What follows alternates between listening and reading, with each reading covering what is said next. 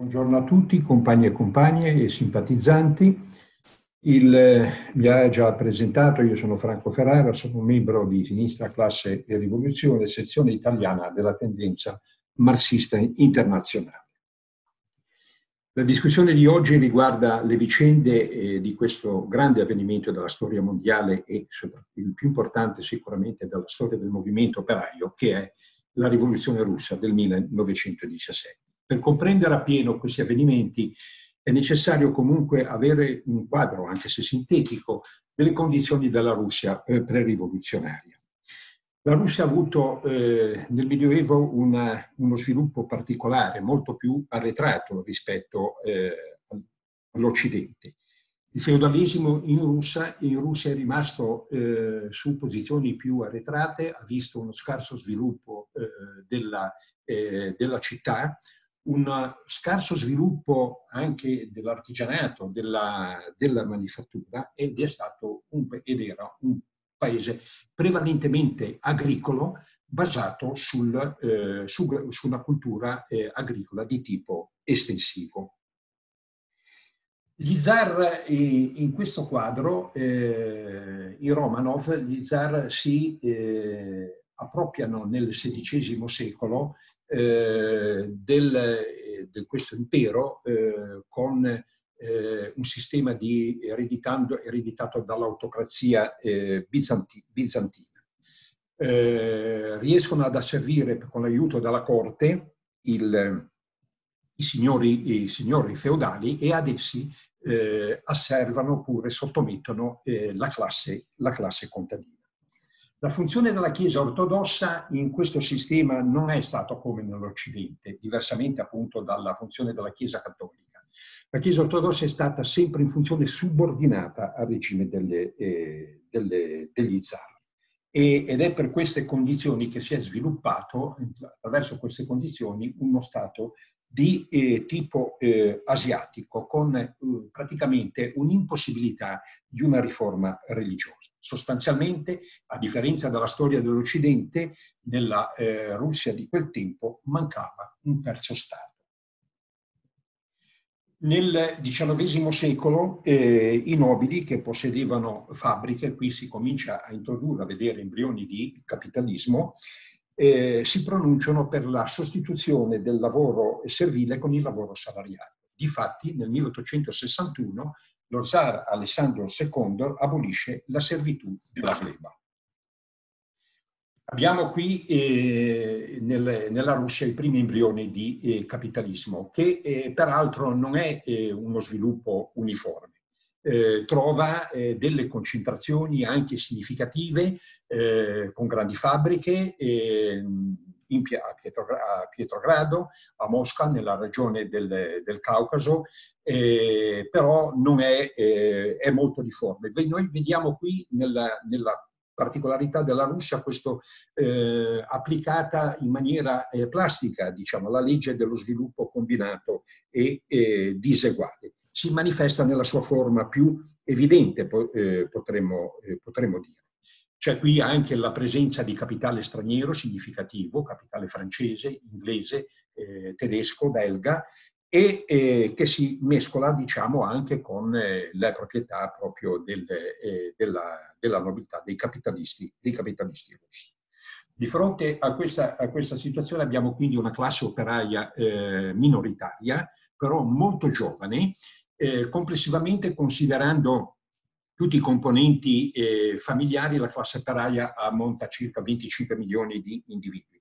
Ma abbiamo questo, questa classe eh, dispersa in un mare contadino. I contadini sono circa 100 eh, milioni.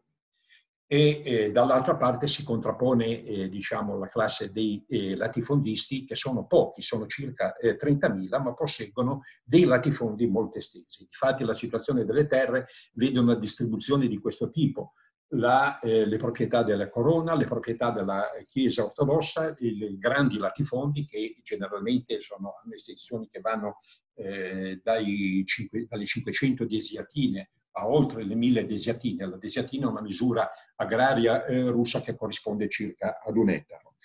e eh, tutto il resto, eh, diciamo, è, è, poi diviso tra i contadini medi, i kulaki, e i, contadini, i piccoli contadini, contadini, eh, contadini poveri. Quindi questa è la situazione sociale che ci troviamo alla vigilia eh, dell'epoca rivoluzionaria della Russia, che ha un prologo nel 1905 con una eh, rivoluzione che eh, fallisce. Abbiamo però nel 1905 la formazione dei primi dei primi soviet, cioè quindi letteralmente dei consigli eh, di, eh, di, operai, di contadini eh, e poi successivamente saranno anche, di, ma solo successivamente, di, dei soldati. Eh, nel 1905 eh, si sviluppano degli scioperi, c'è un'ondata di scioperi che riceve, eh, un, tocca la punta massima di 1.843.000 eh, partecipanti. Dopo la repressione vi è un'ondata di riflusso di riflusso che inciderà per eh, molti anni fino a cominciare ad avere una eh, sintomi di ripresa dal 1910 in avanti e soprattutto tra il 1910 e il 1914 fino ad arrivare allo scoppio della prima eh, guerra mondiale. È proprio in questa eh, epoca che si divarica poi in maniera definitiva con la, le due correnti del Partito Operaio Socialdemocratico russo, cioè i menscevichi e i bolscevichi. I menscevichi eh, si appoggiano diciamo, sugli estratti più demoralizzati della classe operaia, quelli che in sostanza hanno rotto con una tradizione rivoluzionaria, a differenza dei bolscevichi che invece si appoggiano sugli strati più dinamici e più avanzati che non rinunciano all'impresa eh, rivoluzionaria della classe, della classe operaia. Quindi questa è una prima distinzione fondamentale che eh, farà eh, vedere tutti i suoi effetti negli anni, eh, negli anni a venire. Eh, riprende dal 1910 il movimento nelle fabbriche, eh, c'è un'intensificazione dal 1912-1914 quando scoppia la prima guerra mondiale. Il 4 agosto del 14 eh, le, vengono, la socialdemocrazia tedesca vota i crediti eh, di guerra. Il solo Karl Liebknecht si oh, oppone eh, a, que, a, questa, eh, a, questa, nefandezza, a questo vero e proprio tradimento eh, del proletariato tedesco e internazionale. Nel 1915 si ha la conferenza di eh, Zimmerwald, Keital, eh, dove Lenin traccia la prima eh, linea di demarcazione netta con il tradimento della seconda internazionale, che giudica ormai irrimediabilmente perduta alla causa del, eh, proletariato. Eh, verso eh, la fine, nel periodo di guerra, la guerra inizialmente fa da, diciamo, da freno in un primo momento al, alla mobilitazione delle masse. Ecco, però successivamente, anche durante il periodo di guerra, quando le condizioni di vita si aggravano, avremo una ripresa di questo eh, movimento. È un periodo nel quale anche il partito bolscevico ha delle eh, difficoltà di tipo eh, organi- organizzativo. Le condizioni sociali sono disastrose, industria di guerra, inflazione, scarsità di generi alimentari, disorganizzazione eh, nei trasporti, una, una, condizione di vita veramente, eh, veramente, veramente, dura, veramente dura. E in tutta questa situazione abbiamo un regime, quello della monarchia eh, zarista, eh, veramente cieco, ottuso, sia i due sovrani, lo zar e la zarina, eh, sono eh, due sovrani che eh, hanno, non hanno nessuna eh, caratteristica eh, personale per dover avere un ruolo di guida del, di, quel, di, quel, regime sociale. sono ottusi, sono crudeli e sono anche inclini a superstizioni, ecco, a credenze esoteriche. Tant'è vero che la regina in particolare si appoggia eh, sul, eh, su Rasputin, il cosiddetto monaco pazzo, un individuo, eh, questo mujik del siberiano, eh, dedito eh, allo stupro e all'ubriachezza eh, la Corte cerca e gli ufficiali eh, cercano di, porre, eh, di, uscire da questa situazione eh, attraverso una rivoluzione di, palazzo, di palazzo eh, uccidendo il eh, Rasputin nella speranza, peraltro vana, di dover conservare i loro, i loro privilegi. È in questo quadro che si arriva alle giornate di febbraio. Il 23 febbraio è la giornata internazionale della donna. La socialdemocrazia russa pensa a manifestazioni di tipo rituali, cioè manifestini, discorsi, riunioni, però quel giorno, eh, che corrisponde nel calendario al nostro 8 marzo, eh, vengono eh, gli, eh, gli, operai e le operaie, le operaie tessili di, Pietro, eh, di Pietroburgo vanno, entrano in sciopero. Sono 90.000 gli scioperanti di quella, eh, di quella, di quella giornata. Eh, la richiesta è pane, abbasso l'autocrazia, abbasso la guerra. Eh, si riversano sulla prospettiva Nevsi e si dirigono al, alla, alla, alla, Duma municipale richiedendo eh, queste cose. In quei giorni eh, di turbolenti, di rivoluzione, eh, gli operai rivendicano la giornata lavorativa di otto, di otto ore. C'è da vedere il comportamento della guarnigione di Pietrogrado. Eh, I soldati eh, sono in un primo momento eh, in, in, fase di attesa, ma poi solidarizzano con i manifestanti.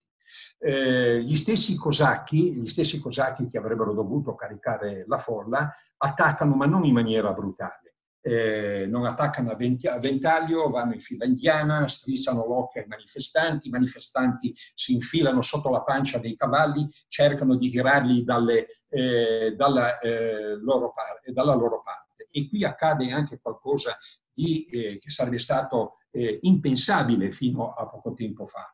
Eh, entrano in scena i poliziotti, i faraoni, che cercano, che sparano sulla folla eh, i cosacchi stessi si rivoltano contro eh, i poliziotti e contro i poliziotti si rivoltano anche i soldati. Sono eh, il, 26, il 26 di febbraio il reggimento, eh, la quarta compagnia del reggimento Pavlovsky, che sarebbe, sarebbero stati i pretoriani dello Zar, la guardia imperiale, si ammutina. Vengono circondati dal reggimento Preobrazensky, eh, ma i soldati del Preobrazensky si pongono contro i loro ufficiali e permettono a questi, eh, questi soldati del Pavlovsky che erano stati circondati e arrestati di eh, fuggire con, le, eh, con, un certo numero di, di fucili eh, di armi. È l'inizio, diciamo, chiaramente della disgregazione dell'esercito. E successivamente eh, nella giornata successiva entrano, anzi nella stessa giornata del 26, eh, lo sciopero si allarga. Lo sciopero si allarga, entrano in sciopero di 240.000 operai. Sono soprattutto eh, la maggiore consistenza è quello del quartiere di Viborg, il quartiere delle fabbriche, il quartiere eh, principale. Eh, dove c'è anche una delle, delle più grandi fabbriche eh, russe, la Putilov, che ha circa 35.000 operai. Eh, in eh, questa fase gli operai eh, cercano in tutti i manieri, gli operai e le operarie, di solidarizzare con, eh, con, con, i soldati, li trascinano letteralmente dentro le loro fabbriche e dicono guardate come ci trattano, guardate come ci trattano. Eh, questa eh, simbiosi acquista sempre più valenza e si inizia una divaricazione fondamentale tra i soldati e i quadri degli, uffi degli ufficiali, che sono quelli più conservatori da, eh, non solo il Preobrazensky, ma altri eh, reggimenti eh, si eh, uniscono, il Litovsky, eh, gli Smailovsky che erano stati consegnati nel, eh, nelle, nelle, nelle, eh, nelle, caserme e persino il reggimento Semionovsky che era stato il principale artefice della repressione a Mosca durante la rivoluzione del 1905 dove eh, negli scioperi di Mosca di, quel, di quell'anno morirono 150 eh, operai repressi appunto da questo reggimento militare. Il, la situazione quindi diciamo si risolve a febbraio nel giro eh, di eh, pochi, eh, pochi, giorni. Viene riaperto il, il Soviet eh, di, eh, di, Pietro, eh, di, Pietrogrado, il quale assume diciamo, il controllo della, della, della situazione e si occupa di tutto eh, del, dei rifornimenti alimentari, dell'ordine, della città, delle, della pulizia, di, di, tutte le cose, agisce come un vero e proprio, eh, proprio potere, eh, potere statale. A mezzogiorno del 27 Pietrogrado è un campo di battaglia. È un campo di battaglia, eh, si conteranno, mi pare, più di circa 1400 vittime, eh, ma è in questo periodo che la rivoluzione dà la caccia ai suoi nemici, caccia ai poliziotti, ai nemici della rivoluzione, e le masse hanno letteralmente in mano il potere. Ma cosa succede in questa fase? Hanno in mano il potere, ma eh, a chi lo passano?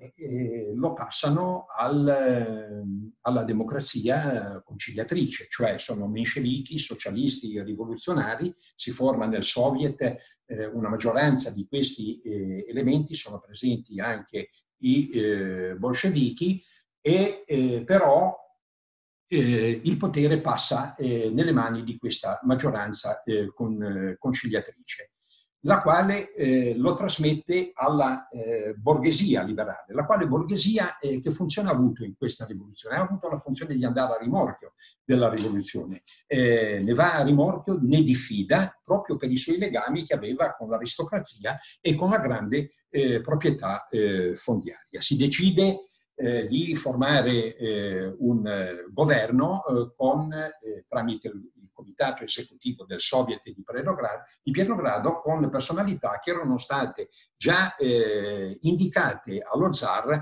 in una fase pre precedente. Di questo elenco non fa parte al momento Kerensky, ma c'è Milyukov che è il leader del partito cadetto, un eh, borghese, eh, diciamo, potremmo definire organico da questo punto di, vi, eh, punto di, vista. Il principe Lovov è il presidente di, eh, di, questo, eh, di questo, consiglio eh, dei, dei, ministri. Rozianko, un, un, generale monarchico, è il presidente della, della, della Duma.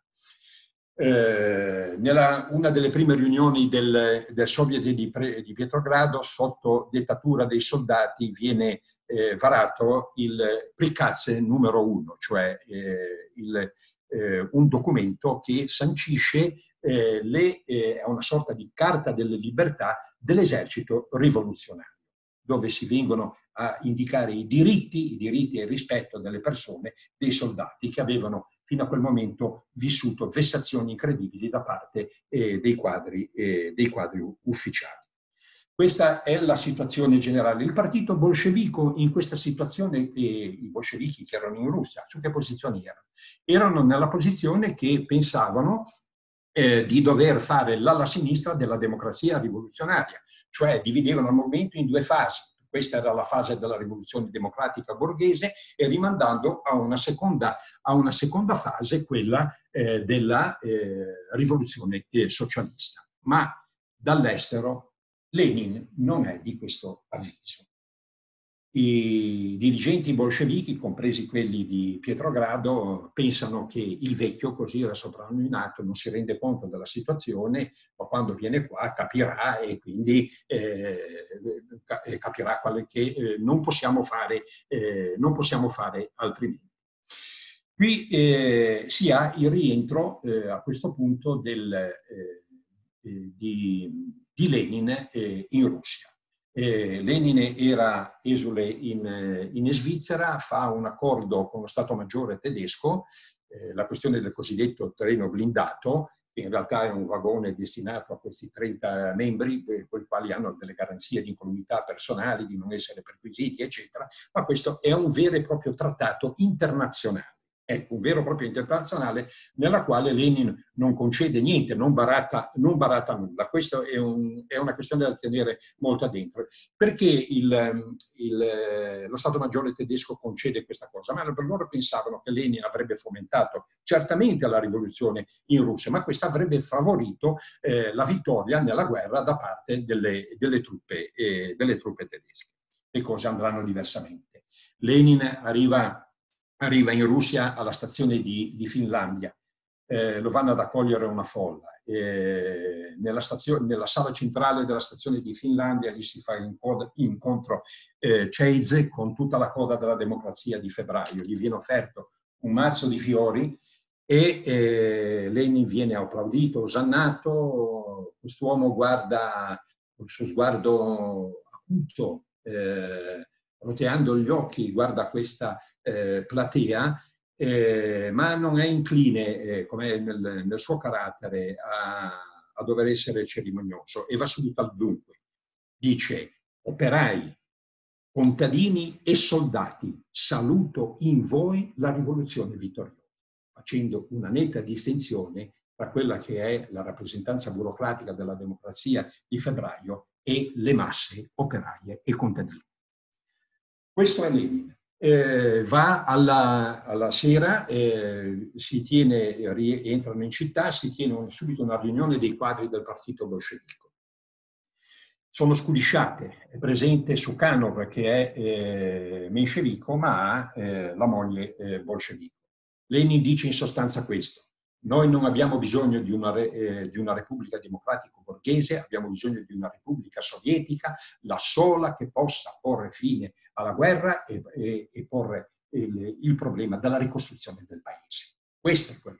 I dirigenti bolscevichi sono attoniti, eh, Zinoviev e, e Kamenev non sono eh, d'accordo. Stalin in maniera molto più opportunista, come nel suo stile, si defila. Eh, il giorno successivo, il 4, che è il 4 aprile, eh, eh, vengono eh, pubblicate le cosiddette tesi del, del, 4 aprile, ma verranno pubblicate solo a suo nome, perché Lenin non ha avuto l'approvazione del Comitato Centrale. E, e quindi qui eh, si passa a una fase successiva, che sono quelle delle giornate, delle giornate di aprile. Il 23 marzo gli Stati Uniti entrano in guerra. Nella stessa giornata contemporaneamente si svolgono le esequie, eh, le esequie dei, eh, dei, morti, dei martiri della rivoluzione di febbraio. Vengono accompagnati a, Camp, a Campo di Marte, ci sono le 50 bare del, eh, del quartiere di Vigor eh, con, ammantate con la, bandiera, con la bandiera rossa. I cannoni tuonano all'unisono delle salve di addio. non ci sono incidenti, ma questa sarà una delle ultime manifestazioni unitarie che eh, si svolgeranno. Successivamente la, la, la, questione continua ad aggravarsi. C'è insofferenza nell'esercito, c'è insofferenza eh, fra gli operai, c'è insofferenza eh, nei contadini che non vedono risolta nessuna eh, delle loro, eh, delle, loro, delle loro istanze. Delle loro istanze. Il, eh, in sostanza eh, la guarnigione di eh, Pietrogrado eh, che si era praticamente eh, liquefatta. Tentano, eh, si tenta di dover mandare delle truppe, le truppe più rivoluzionarie al fronte, cioè all'opposizione dei soldati. Si arriva alla giornata del 20 aprile dove c'è una manifestazione di reduci di guerra eh, sono reduci che si oppongono, che si contrappongono l'uno all'altro. C'è chi stampella come controstampella. Eh, ci sono coloro che vogliono, dicono guerra fino, in, guerra fino in fondo, altri che vogliono, invece vogliono la pace. Sotto dietro a queste manifestazioni c'è il partito cadetto che tiene un grande comizio sulla prospettiva Neschi. Ma le masse si mobilitano, scendono eh, in strada, scendono le strade in strada armate vogliono un'altra questione, un'altra questione, vogliono la fine della, eh, della guerra. Per cui al, il, 24 di, il, 24, il 26 di aprile si decide di eh, formare, eh, il comitato esecutivo del Soviet decide di formare un governo di coalizione, il primo governo di coalizione nelle quali entrano i socialisti ed entra Kerensky il eh, processo eh, va avanti, ci sono le manifestazioni del primo maggio, non ci sono incidenti eh, e tutti obbediscono al, agli ordini del, eh, del, del, del, Soviet da questo punto di vista. Si arriva quindi al, al periodo successivo, che è quello di giugno, perché il 3 giugno si apre il primo congresso dei Soviet panrussi, dove il comitato esecutivo eh, del Soviet dà in sostanza il permesso eh, a Kerensky di riprendere eh, l'offensiva. Eh, in questo, in, questo, mese si pensa a una manifestazione pacifica, inizialmente indetta per il 10 giugno, poi successivamente per il, eh, 18, eh, per il 18, eh, di, 18 di, di, giugno.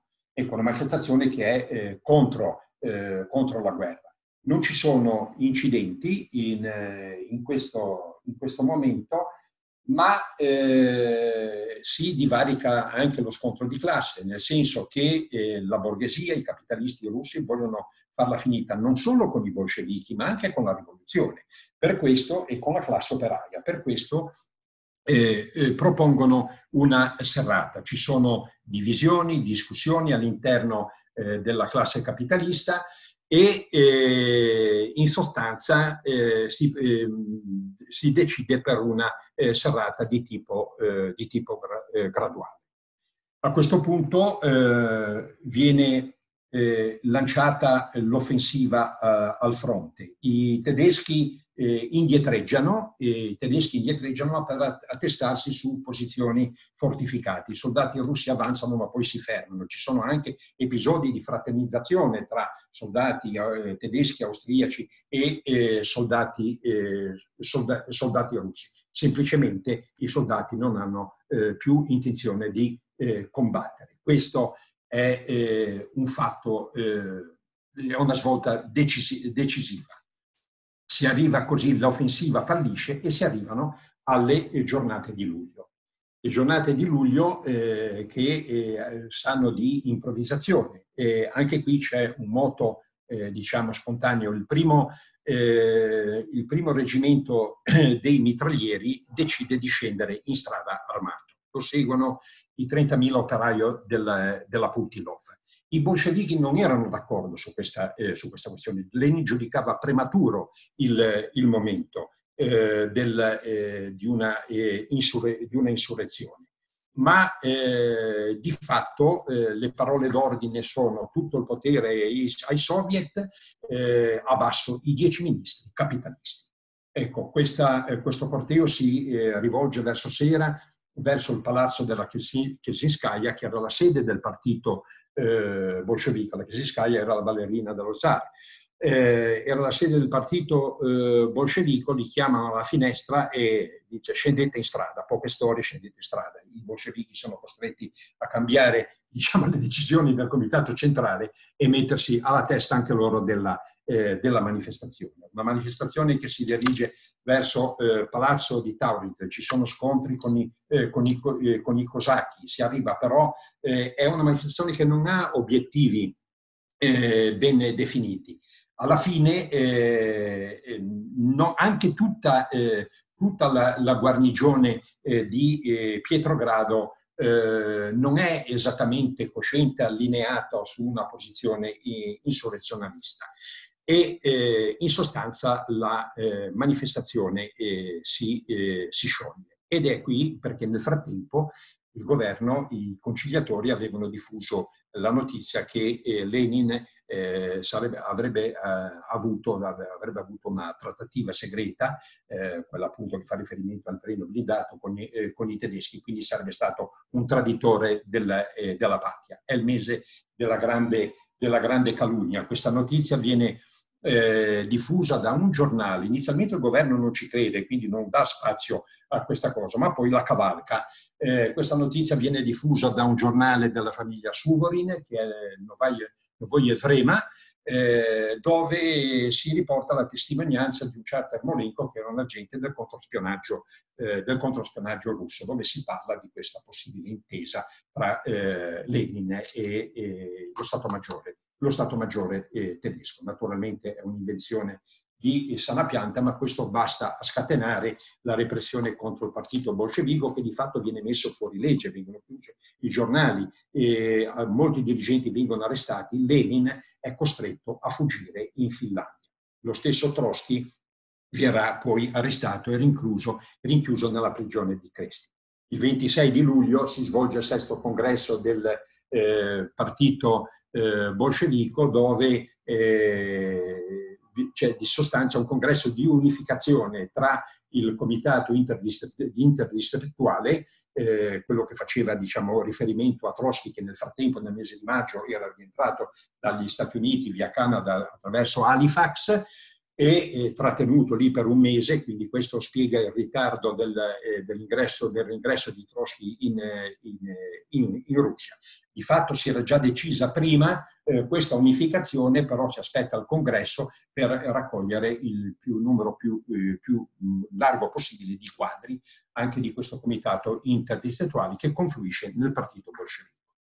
Siamo ad agosto, alla metà di agosto si apre la conferenza, eh, la conferenza di Stato dove è eh, un teatro con 2500 persone, la metà, la destra, questo qua è, presente, è la borghesia liberale, alla sinistra c'è la socialdemocrazia concilia, eh, conciliatrice. Sono presenti anche eh, diversi bolscevichi in eh, veste di, eh, in veste di osservatori eh, al palco c'è eh, Kerensky e, e, viene chiamato anche Kornilov, il generale contromonarchico eh, controrivoluzionario. Mosca in sciopero, eh, ci sono 400.000 operai in sciopero, quindi la conferenza di Stato si svolge in questo, in questo clima.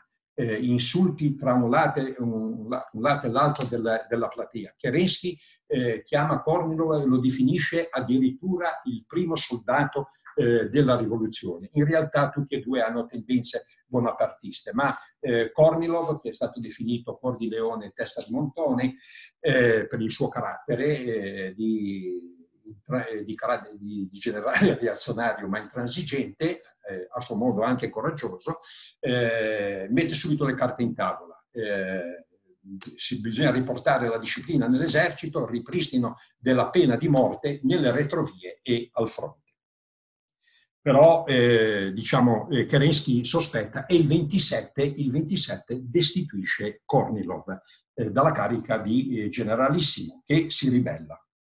Il piano di Kornilov prevedeva eh, l'accerchiamento di eh, Pietrogrado utilizzando la cosiddetta divisione selvaggia, montanari del Caucaso al, al comando del principe Bragadin, eh, noti per la loro eh, crudeltà. Eh, divisi- tre divisioni che dovevano venire dal fronte sud corpo di cavalleria e la divisione che era a distanza al nord che doveva eh, pressare eh, Pietrogrado appunto dalla, eh, dalla parte nord. Ma il piano militare fallisce in pieno perché le truppe eh, controrivoluzionarie appena vengono a contatto con gli operai, che, i quali i ferrovieri che deviano, eh, deviano le, i vagoni con, eh, con, le truppe, vengono a contatto con i lavoratori, con i, gli, eh, le, quei reparti degli eserciti che erano più avanti nella coscienza rivoluzionaria, passano addirittura dall'altra, dall'altra parte. Quindi il piano eh, Kornilov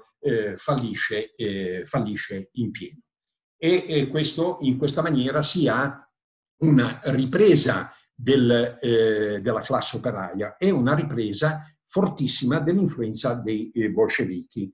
Eh, il 9 eh, settembre è una data importante perché eh, in questa data eh, c'è il, i, i bolscevichi conquistano la maggioranza eh, nel Soviet di, eh, di, Pietrogrado e Trotsky ne diviene il presidente del comitato esecutivo. Diviene presidente del comitato esecutivo mettendo alla berlina il, eh, diciamo, il comitato direttivo del, del, Soviet, il quale contava ancora nel, fra i suoi membri Kerensky, eh, Trotsky dice, ma come c'è ancora eh, Kerensky che è, eh, è, un traditore, uno che ha complottato, stava complottando con Kornikov. Questa, eh, questa, rivelazione, questa rivelazione, questo intervento scompagina eh, le file delle, eh, della democrazia conciliatrice, la quale passa in minoranza. E Trotsky viene appunto eletto presidente del comitato esecutivo. Nel frattempo, nelle campagne si accende la guerra contadina. Eh, Leni è ancora in esilio, eh, rifugiato in Finlandia in questo periodo tra l'agosto e il settembre del 1917 che scrive la, una delle sue più importanti opere, Stato e Rivoluzione. Con questi strumenti teorici Lenin continua nella sua opera di armare politicamente il partito, ecco, alla presa del potere. Eh, ci sono ancora parecchie incertezze eh, e dissensi nel, nei dirigenti del, del partito bolscevico.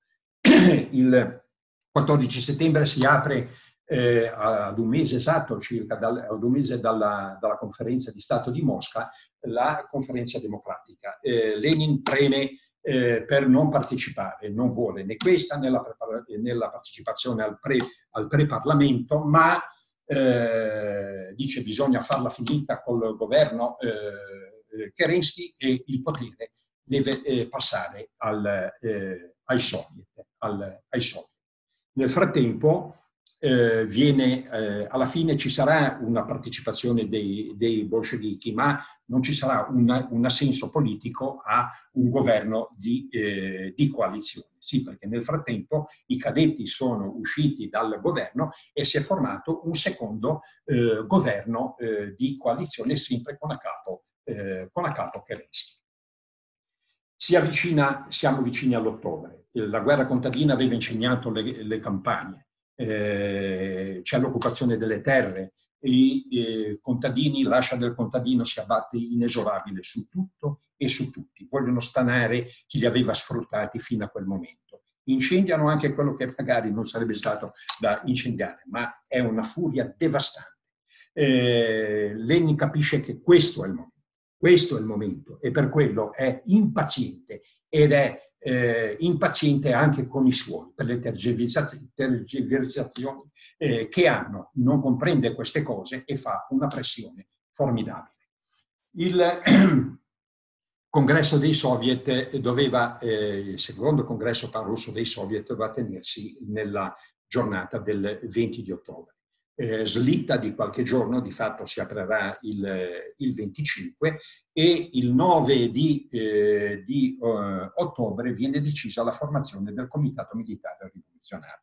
Questo perché? Perché i soviet non erano, i soviet essendo un, un, grande organismo democratico, non era tuttavia adatto, perfettamente adatto ad una eh, ad organizzare una insurrezione che aveva bisogno di tempi di decisioni, di tempi ristretti e quindi non poteva questa cosa essere attuata attraverso una, una consultazione diciamo, di tipo democratico con i suoi tempi, eh, tempi lunghi. E questa funzione l'avrebbe potuta assolvere benissimo il, il partito, ma questo esponeva eh, ad un rischio, sarebbe stata molto più efficace da questo punto di vista, ma eh, ehm, eh, c'era il rischio di essere considerati come quelli che si vogliono appropriare del potere. E la questione della legalità in una fase rivoluzionaria ha sempre un'importanza, soprattutto nel riflesso nella coscienza delle masse, perché eh, si doveva eh, far comprendere eh, da una parte essere audaci, ma dall'altra parte anche rispettosi di quella, eh, di quella volontà. Non si voleva passare in, in sostanza come degli usurpatori. E quindi il Comitato eh, Militare Rivoluzionario è stato eh, formato con questa funzione intermedia, possiamo dire, eh, che però eh, comportava anche dei rischi, perché vi erano anche dei nemici, degli, degli avversari dell'insurrezione, eh, dell'insurrezione, che avrebbero potuto capire momenti, eccetera, momenti cospirativi che necessariamente, eh, necessariamente ci sono, ma quello era un rischio che si doveva correre e si è corso. Il, il, congresso dei soviet si tiene al Palazzo dello Smolny, eh, il Palazzo delle Oche Bianche, dove la gioventù dorata della nobiltà veniva, alle giovinette venivano allevate eh, un tempo alle arti, alla danza e a quant'altro. Ecco, e in, si svolge lì. E lì è anche la sede del Comitato Militare Rivoluzionario al terzo, eh, al terzo piano. Quindi queste due cose, due organismi si, eh, si fondono, eh, sono insieme nello stesso, eh, nello, stesso, nello, stesso edificio, nello stesso edificio. Si eh, organizza a questo punto l'insurrezione. Si organizza l'insurrezione, vengono, è eh, una sorta di caos organizzato. Eh, si occupano strade, ponti, centrali telefoniche, eh, persino la Banca di Stato non viene ignorata, no? quindi a differenza di quanto era successo per la, eh, per la Comune, eh, per la comune eh, di, eh, di, Parigi. Viene deciso lo Stato Maggiore di, del, che doveva dare l'assalto al Palazzo d'Inverno, dove nel frattempo si era rifugiato il, il governo. Il governo. Eh, lo, lo, I tre eh, comandanti della piazza sono Podvoisky, Chudanovsky e Antonov eh, Ovsenko. raccol- si raccolgono in sostanza circa 30-35 mila eh, uomini, ma nella giornata del 25 eh, si eh, ritarda continuamente l'assalto definitivo. Si aspettava il segnale della lanterna rossa dalla fortezza di Pietro, di Pietro e, pa- Paolo, la quale doveva dare il segnale all'incrociatore Aurora, che era a distanza sulla neva, per eh, sparare il primo colpo eh, di cannone che avrebbe dovuto dare eh, il segnale dell'assalto al, al palazzo non si vogliono fare vittime il meno possibile, c'è molta indecisione, c'è chi dava ordine, chi non poteva darne, eh, e insomma è, eh, un, come si dice, proprio un caos organizzato. Ma tutto non deve far pensare comunque a un, a un qualcosa di assolutamente spontaneo, eccetera. No, l'elemento organizzativo c'era e come, ecco, ed è, è stato tutto graduato fino a portare l'insurrezione al punto di ebollizione, nella quale non bisognava avere incertezze di nessun tipo. Ecco, questo è eh, il punto. Quindi il congresso dei soviet si apre eh, con mattino con le riunioni, varie riunioni di, eh, di frazione e si aspetta eh, questo segnale. Il, in un primo momento i deputati sono eh, 650, 390 eh, sono eh, bolscevichi e quindi hanno già la maggioranza assoluta. Si arriverà a 900 eh, dele, eh, delegati con le varie delegazioni dei, dei soviet che vengono da regioni più, da regioni più, da regioni più, più lontane. E eh, finalmente poi verso le 10 eh, di sera eh, si ha diciamo, la presa, eh, l'ingresso, i tentativi di penetrare nel palazzo, che era, stato, era difeso dal Junker e da un battaglione d'assalto eh, femminile, al quale si aggiungerà eh, poi un distaccamento di soldati degli Urali, comprendente circa 200 soldati, i quali però, vedendo com'era la cosa, se ne vanno e si uniscono ai, ai rivoltosi. In sostanza, eh, ci sono le prime infiltrazioni delle, eh, delle, delle, dei rivoltosi all'interno eh, del, eh, del, palazzo, eh, finché poi continua, vengono disarmati gli ufficiali, gli Junker, eh, i quali si arrendono praticamente senza opporre eh, resistenza. Antonov Osenko entra nella sala di Malachite, nella grande sala del palazzo d'inverno, che era tutta al buio, per paura di, eh, dei cannoneggiamenti dalle, dalle, navi da guerra che erano ancorate ne- eh, sulla neva, e eh, in una stanza attigua eh, c'è il governo riunito, dalla quale non c'è Kerensky, le sue veci le fa Konovalov. Kerensky era andato via, la giustificazione con i suoi compagni di ministero era quella che andava al fronte a cercare, a cercare rinforzi. In realtà se n'era scappato, andrà a cercare certo dei rinforzi, ma era andato via sotto con la protezione su una macchina eh, messa a disposizione dall'ambasciata, eh, dall'ambasciata americana. Antonov Osenko entra nella sala eh, del, dove sono radunati i indici e li dichiara, li dichiara in arresto. Vengono portati alla fortezza di Pietre e Paolo e non gli viene torto un, eh, un, cape, un capello. Questa è eh, la fine eh, del governo provvisorio, la resa del palazzo d'inverno sono, arriva il fonogramma al congresso del Soviet, sono le 2.10 del 26 ottobre del 1917. Il congresso eh, panruccio dei Soviet eh, prosegue, eh, è Lunacharsky che pronuncia eh, la frase nella quale considera decaduto il precedente comitato esecutivo, è decaduto, è stato deposto il governo, il, il congresso dei soviet assume i pieni poteri. È la conclusione della rivoluzione. E la conclusione della rivoluzione è il nodo gordiano, è stato sciolto. Sarà eh, Kamenev a eh, poi eh, dichiarare eh, l'ordine del giorno, giorno, finale dove viene eh, nominato il Consiglio dei Commissari del, eh, del Popolo, il Comitato Esecutivo del, dei Soviet che vede 101 rappresentanti, di cui 72 bolscevichi, 29 socialisti internazionalisti, ai quali si aggiungeranno eh, poi delegati dei, dei, dei soviet eh, contadini e delle rappresentanze eh, dell'esercito che verranno, eh, dovranno essere rielette in, in, seguito. A chi se n'era andato, a chi se n'era andato eh,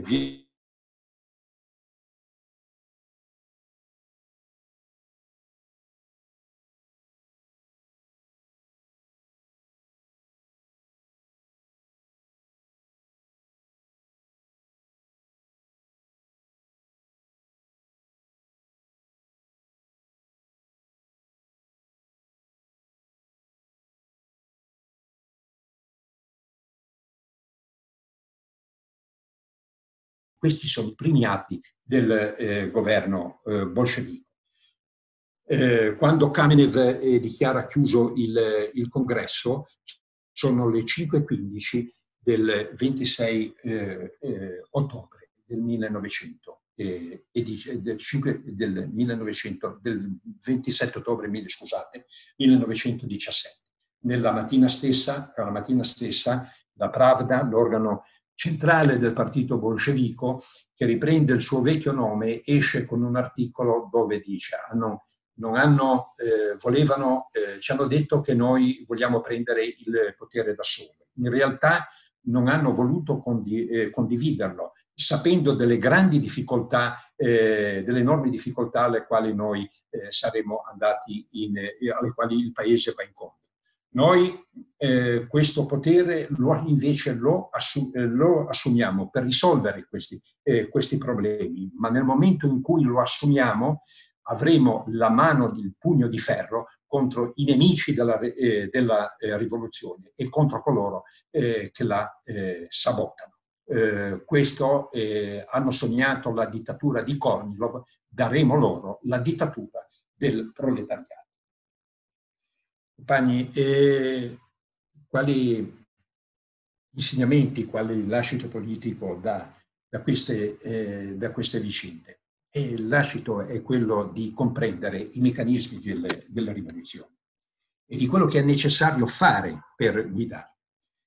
In sostanza le masse non fanno volentieri le rivoluzioni più di quanto non facciano le guerre, ma c'è una differenza sostanziale, che le eh, rivoluzioni eh, le masse fanno le rivoluzioni quando non hanno un'altra via di uscita dalla situazione di crisi nelle quali si trovano, nelle quali si trova la loro condizione di vita. Ecco perché fanno le, eh, le, le rivoluzioni. In tutti e due questi, grandi, questi avvenimenti, le guerre e le rivoluzioni, ci sono un elemento eh, elementi cospirativi, ma anche qui c'è una differenza fondamentale. Nella guerra, nelle guerre la cospirazione eh, è eh, subita, eccetera, mentre invece nel, dalle, dalle, masse, mentre invece nelle, nelle rivoluzioni le eh, cospirazioni sono dettate certamente anche da eh, circostanze eh, esterne, ma interagiscono eh, necessariamente con le volontà delle masse che si organizzano per eh, dover arrivare allo scopo che eh, si sono via via, man mano, eh, eh, prefisse. Nel, una condizione, eh, condizione essenziale per lo sviluppo eh, per una situazione rivoluzionaria è che il regime es- esistente non sia più in, in, grado di far fronte alle necessità della società. Questo è un punto eh, fondamentale, ma non basta questo perché eh, questa, ci sia una, una rivoluzione. Eh, bisogna, perché ci sia quella, occorre che esista una classe, una classe che sia in grado e voglia prendere il potere. Perché questo possa, eh, perché questo possa, eh, possa avvenire, eh, questa classe ha necessità di dover verificare momento per momento la eh, validità eh, delle proprie, delle, proprie, azioni, ha necessità di fare dei bilanci, eh, potremmo dire, transitori, transitori anche, per misurare il rapporto di forza con le classi, con le classi avverse. Questo, guardate, è quello che è successo esattamente negli eh, otto mesi eh, della, eh, della, Russia rivoluzionaria. Le masse avanzavano e, esplicavano tutta la potenza della, eh, della, loro azione se aveva una risposta delle classi avverse, eh, le quali tentando di rispondere alla, eh, all'irruenza, alla violenza delle, delle, masse, delle masse rivoluzionarie, non facevano altro che constatare via via il loro isolamento. Ecco, quindi in situazioni di questo genere bisogna che eh, la, eh, la, classe, la, classe, rivoluzionaria abbia, acquisisca, sempre più questa eh, coscienza nelle proprie eh, poten, eh, potenzialità. Ha bisogno di, doverlo, eh, di doverla misurare questa, questa, questa, questione. L'aumento di questa coscienza è la premessa indispensabile perché ci sia un mutamento sostanziale nei rapporti politici. Ecco, questo è eh, l'elemento, eh, le, sono gli elementi, alcuni degli elementi fondamentali, ma c'è dell'altro. Bisogna che anche l'iniziativa coraggiosa della, eh, della, eh, della classe operaia abbia appunto la capacità di coinvolgere anche altre classi, che sono quelle più oscillanti, la piccola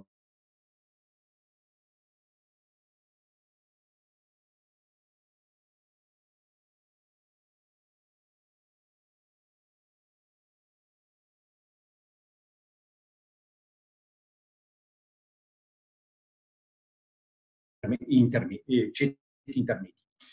Eh, qual è l'altro elemento fondame, eh, fondamentale in questa, in questa questione? Eh, eh, last but not least, least è l'esistenza di un partito rivoluzionario. Tutto quello che manca- è mancato nella rivoluzione tedesca del 1919, nel movimento rivoluzionario in Italia con l'occupazione delle fabbriche, con la rivoluzione in Germania del 1933, del 1923, scusate, con la rivoluzione spagnola del 1931, ecco, è l'esistenza di un partito di quel tipo. Un partito che per eh, fortunate circostanze eh, storiche in, sia nazionali che internazionali, eh, si è invece formato eh, in Russia. Un, eh, un, partito guidato dalla salda mano di Lenin e di Trotsky, ma che aveva anche nei suoi, eh, nei suoi membri delle, delle, delle persone, degli uomini, dei combattenti rivoluzionari assolutamente determinato. Erano gente che faceva quel che diceva e questo ha costituito la differenza eh, con gli altri eh, chiacchieroni, quelli della democrazia, della democrazia con, eh, conciliatrice. Quindi questo è un partito eh, con una eh, lungimiranza eh, strategica, con una sagacia tattica incredibile, perché un partito che sapeva eh, capiva, capiva eh, che eh, la rivoluzione ha delle sue eh, leggi eh, che la, ne condizionano lo sviluppo, il movimento e che a volte non si raccordano perfettamente con la soggettività del partito rivoluzionario e neanche con la soggettività della classe operaia. Questa è la questione fondamentale della, della, della, del, che costituisce un'avanguardia all'altezza, all'altezza dei compiti, avere questa indipendenza di giudizio, tenendo conto, tenendo conto ovviamente dei fatti. Ecco, questo eh, sia, eh, sia, chiaro. Quindi, eh, in sostanza, eh, chi ha eh, criticato eh, gli avversari della, della rivoluzione che hanno criticato il bolscevismo per non, i metodi socialisti nel periodo immediatamente eh, dopo la rivoluzione per eh, non avere, avere, ancora una situazione disastrata eh, dal punto di vista economico, una situazione difficile, dimenticano che eh, quel, eh, dopo la presa del potere eh, c'è stata una guerra civile che ha depauperato risorse, ha messo le condizioni ha frustrato grandemente e grandemente le, le, masse, ma anche in questa circostanza quelle masse che avevano giurato eh, davanti a Trotsky nella riunione del Soviet di Pietrogrado di non tradire la rivoluzione, non la tradirono, non la tradirono e andarono fino in fondo a costo di sacrifici in, immensi, a prezzo anche dalla loro vita, naturalmente. Il, eh, diciamo questo, che i bolscevichi non avevano mai preso impegni, né scadenze, né date, né impegni di creare paradisi in terra. No, nessun impegno, cosa di questo genere. Quello che ha fatto, eh, ha fatto la rivoluzione di, di, ottobre è quello di avere eh, squarciato un velo nel, eh, nei, rapporti, nei, rapporti, sociali aver posto le basi per una eh, nuova organizzazione della società. Sì, perché la storia umana in sostanza la possiamo riassumere come un accumulo delle, della coscienza, dello sviluppo della, eh, della coscienza. L'uomo è arrivato a eh, sviluppare grandemente la tecnica, le scienze, specialmente quelle fisiche, chimiche, eccetera, ma i rapporti sociali si sviluppano ancora alla maniera delle isole coralline. E nella sfera della politica il parlamentarismo ha gettato eh, una luce eh, artificiale su questi rapporti, non potendo però incidere nella sostanza dei rapporti di fondo, dei rapporti economici della società eh, capitalistica. Quello che ha fatto la rivoluzione d'ottobre è stato proprio questo, di alzare il velo su questa più profonda sfera dell'inconscio. Questo è quello che è stato, è stato fatto. E naturalmente il, questa questione porta ad alcune considerazioni finali. Agli, agli scettici eh, si può dire che sembrava, non si, non, non si poteva credere che il, il portiere, l'usciere di un palazzo di giustizia eh, potesse diventare presidente della Corte d'Appello. Si è dovuto credere.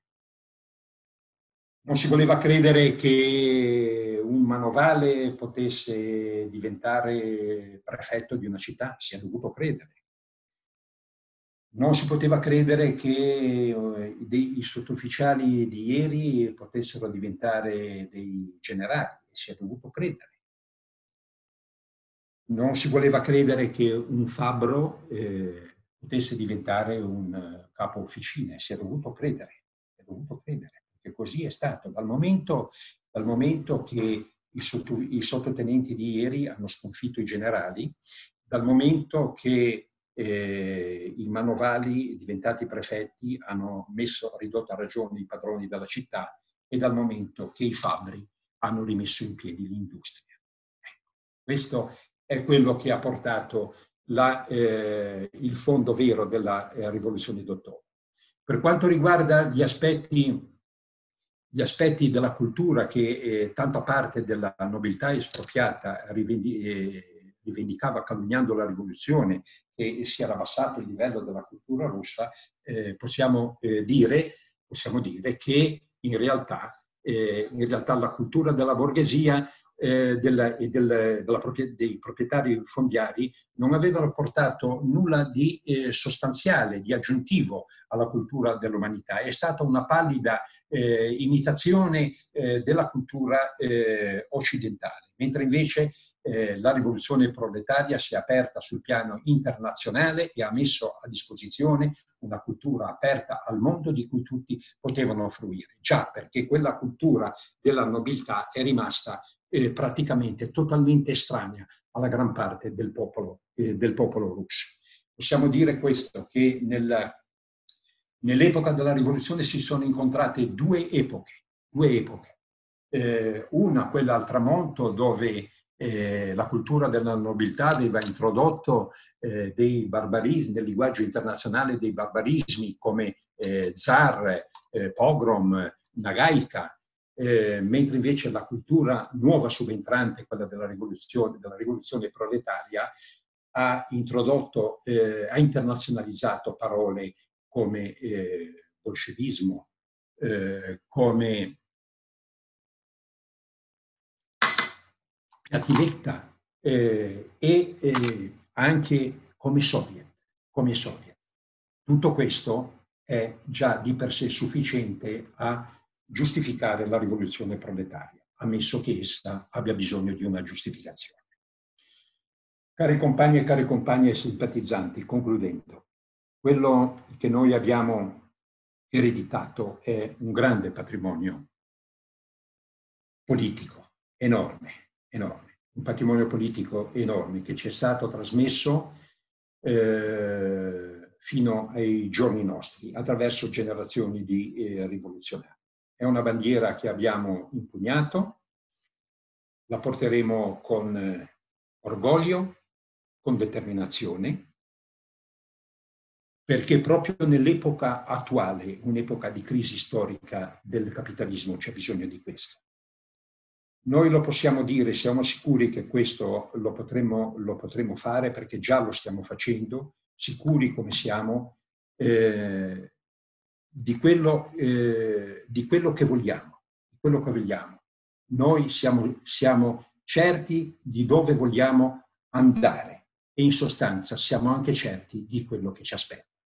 Di tutto questo noi abbiamo una piena consapevolezza. Viva la tendenza marxista internazionale. E ho concluso.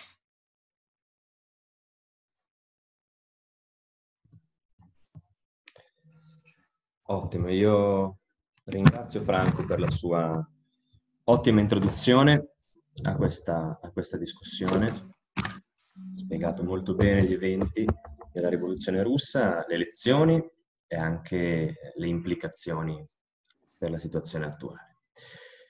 Io in questo momento non ho ancora mh, nessuno che ha chiesto di intervenire, quindi vi prego di alzare la mano. Ecco qua, arriva il primo.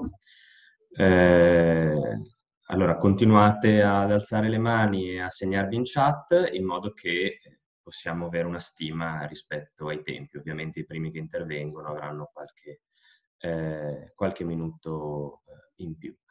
Allora io lascio a questo punto la parola a o Francesca o Rocco perché il, eh, intervento è stato richiesto dall'account doppio e scopriremo, eccolo qua. Si prepara eh, Fabio Roffinotto. Prego. No, molto brevemente, intanto grazie anche da parte mia per, perché è stato molto importante il modo in cui hai, hai introdotto la discussione. E, ehm, volevo soltanto dire, puntualizzare o aggiungere forse qualcosa su un aspetto, su due aspetti. Il primo, molto velocemente, è quello secondo il cui, guardando in televisione gli storici attuali che raccontano quei giorni, sentiamo spesso parlare di un colpo di Stato, perché proprio in quella, l'occasione finale di tutta la carrellata di eventi che Franco ha ben descritto, nell'occasione finale non ci fu un'insurrezione di centinaia di migliaia di persone che in piazza passavano contro il Palazzo d'Inverno, ma fu un'insurrezione organizzata di quelle 30.000 persone che riuscirono a entrare senza colpo ferire nel Palazzo d'Inverno e perché in maniera eh, molto, molto ehm, opportunista e disonesta, viene detto che ci fu anche un ruolo importante da parte dell'esercito. Ora, quando noi parliamo di colpi di Stato, parliamo di generali e quindi di eh, parti dell'esercito, che è un esercito spesso permanente in quelle situazioni lì, quindi non popolare, non fatto da operai che erano stremati dalla guerra e non volevano più saperne.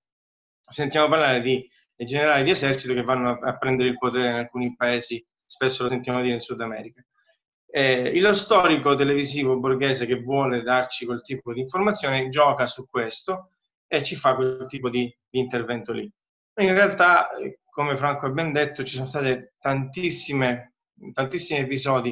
La rivoluzione d'ottobre potrebbe essere definito il culmine della rivoluzione di febbraio, è tutta una rivoluzione che eh, parte in maniera eh, diciamo come una rivoluzione borghese e poi si trasforma con la partecipazione popolare che spesso, come ha detto anche Franco, ha trascinato anche i bolscevichi nel momento in cui ancora pensavano non fosse il momento verso quell'insurrezione finale, che solo perché è stata preparata in maniera molto, molto meticolosa, in maniera anche ha, ha raggiunto il punto di ebollizione, usando le stesse parole di Franco, nel modo giusto, ha avuto quel risultato lì. E l'esercito ha avuto il ruolo semplicemente di non reprimere non eh, difendere il governo ormai morto eh, fino alla fine. E quello è stato il ruolo dell'esercito, cioè gli operai e i contadini che facevano parte dell'esercito hanno capito che in quel modo potevano eh, contribuire alla propria liberazione dalla guerra e dalla condizione di sfruttati, perché in quell'esercito c'è una condizione anche di classe che viene, viene a, a, prevalere. E questo è un aspetto. L'altro aspetto che mi piace sottolineare è che eh, in quel famoso discorso Lenin, il 25 ottobre, quando, eh, in quel discorso in cui dichiara compiuta la rivoluzione, lui parte subito con chiarezza a far capire che quella rivoluzione da sola non ce la può fare. Mentre avviene, mentre nel momento di maggiore gloria, lui dice che il primo compito della rivoluzione è la pace, quindi interrompere la guerra capitalista. Per interrompere quella guerra c'è bisogno di lottare contro il capitale che la produce e ci sarà bisogno per questo degli operai e dei degli operai della classe operaia dell'Italia e Inghilterra, perché questi potranno aiutarci a concludere questa guerra. In realtà questa internazionalizzazione del problema non è mai mancata di Lenin e della dirigenza bolscevica fino a quando c'è stato Lenin. Quando poi la, il potere è passato a Stalin, eh, questa cosa completamente ribaltata, è stato l'inizio di un'altra storia che purtroppo sappiamo come è finita. Quindi alcuni aspetti fondamentali della teoria Lenin ce l'aveva presenti anche nella prassi del momento mentre c'era il, il momento più glorioso e più impegnativo. Non ha smesso mai di dirlo. Faccio un esempio, lui se ne è accorto anche nei quattro anni successivi durante la guerra civile, quando per esempio per sconfiggere l'invasione di, di 21 eserciti stranieri eh, insieme alle guardie bianche, c'è stato bisogno anche degli lavoratori degli altri paesi, perché si ricorda spesso l'episodio, o meglio, lo ricordiamo noi, lo dimenticano gli storici di qui sopra, di quando i, i portuali britannici fecero uno sciopero che, per impedire che si caricassero le armi che dovevano essere portate poi in Polonia per combattere contro, contro, contro gli operai russi. Per cui, ecco, questo, questa questione internazionale è presente anche nel momento in cui c'è l'insurrezione, non è una, nessuna teoria bolscevica o, di, o, marxista, è una teoria che sta in aria per i fatti suoi, ma è tutto, tutto serve nella cassetta degli attrezzi di, di un partito rivoluzionario.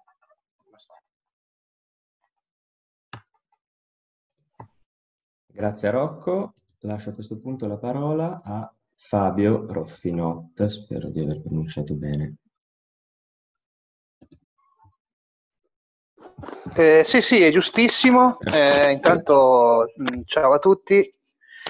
Io volevo spostare un attimino l'attenzione proprio su due argomenti che eh, sono venuti fuori dopo questa esposizione di quella che è stata la rivoluzione russa. Eh, intanto condivido sul fatto che eh, affinché vi sia un, una rivoluzione, quindi un cambiamento di un ordinamento pre- presente, preesistente, sia necessario, soprattutto in ambito marxista, la presa di consapevolezza del fatto che il proletariato è una classe e eh, essendo una classe ha chiaramente degli interessi da contrapporre ad una classe dominante. Ecco, io mi chiedo eh, e vi chiedo eh, se secondo voi in questo momento c'è una coscienza di classe, nel senso che arriviamo da 25 eh, anni circa di neoliberismo che ha non soltanto modificato i rapporti di forza sussistenti dal punto di vista della logica del capitale, in particolare rispetto all'accumulazione del saggio del profitto che si è moltiplicata in questi ultimi 25 anni, ma che soprattutto ha vanificato eh, moltissime conquiste sociali, soprattutto per quanto riguarda i diritti acquisiti eh, durante, durante, la prima fase della Costituente eh, repubblicana, no? quindi parliamo dello Statuto dei lavoratori del 74, ma ancora prima eh, con le lotte operaie degli anni 50. E, e, credo che questo abbia portato a una parcellizzazione no? e quindi ad una mancata consapevolezza di quello che eh, la reazione ha portato avanti eh, in questi ultimi 25 anni. L'altra domanda che mi pongo e vi pongo è che tipo di sistema si può costruire, che tipo di eh, socialismo rivoluzionario si ha in mente, anche dal punto di vista dell'organizzazione di diverse forze marxiste e leniniste che sono presenti in Italia in questo momento e che anch'esse sono parcellizzate. Eh, non dimentichiamoci che già in ambito parlamentare la sinistra ha un frazionamento in questo momento eh, assolutamente inaccettabile e che anche le forze marxiste al di fuori del cosiddetto arco parlamentare eh, vivono di sfumature più o meno, più o meno eh, diciamo così, eh, eh, rilevanti. E quindi eh, certamente la coscienza di classe è importante, ma è anche importante aggregarsi intorno ad un'unica forza rivoluzionaria che possa in un certo senso eh, scardinare i principi base su cui il neoliberismo sta costruendo questa nuova forma di oppressione della classe operaia.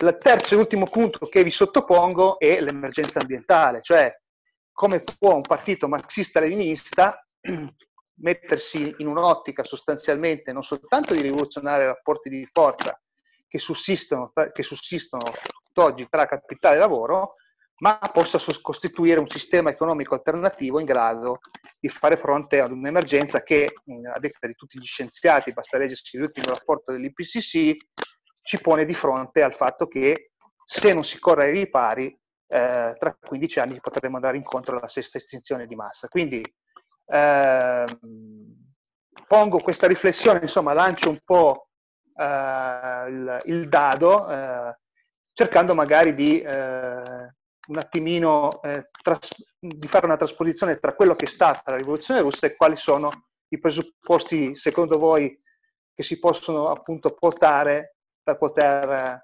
eh, trasformare la società come eh, il marxismo eh, sostanzialmente insegna. Grazie a tutti.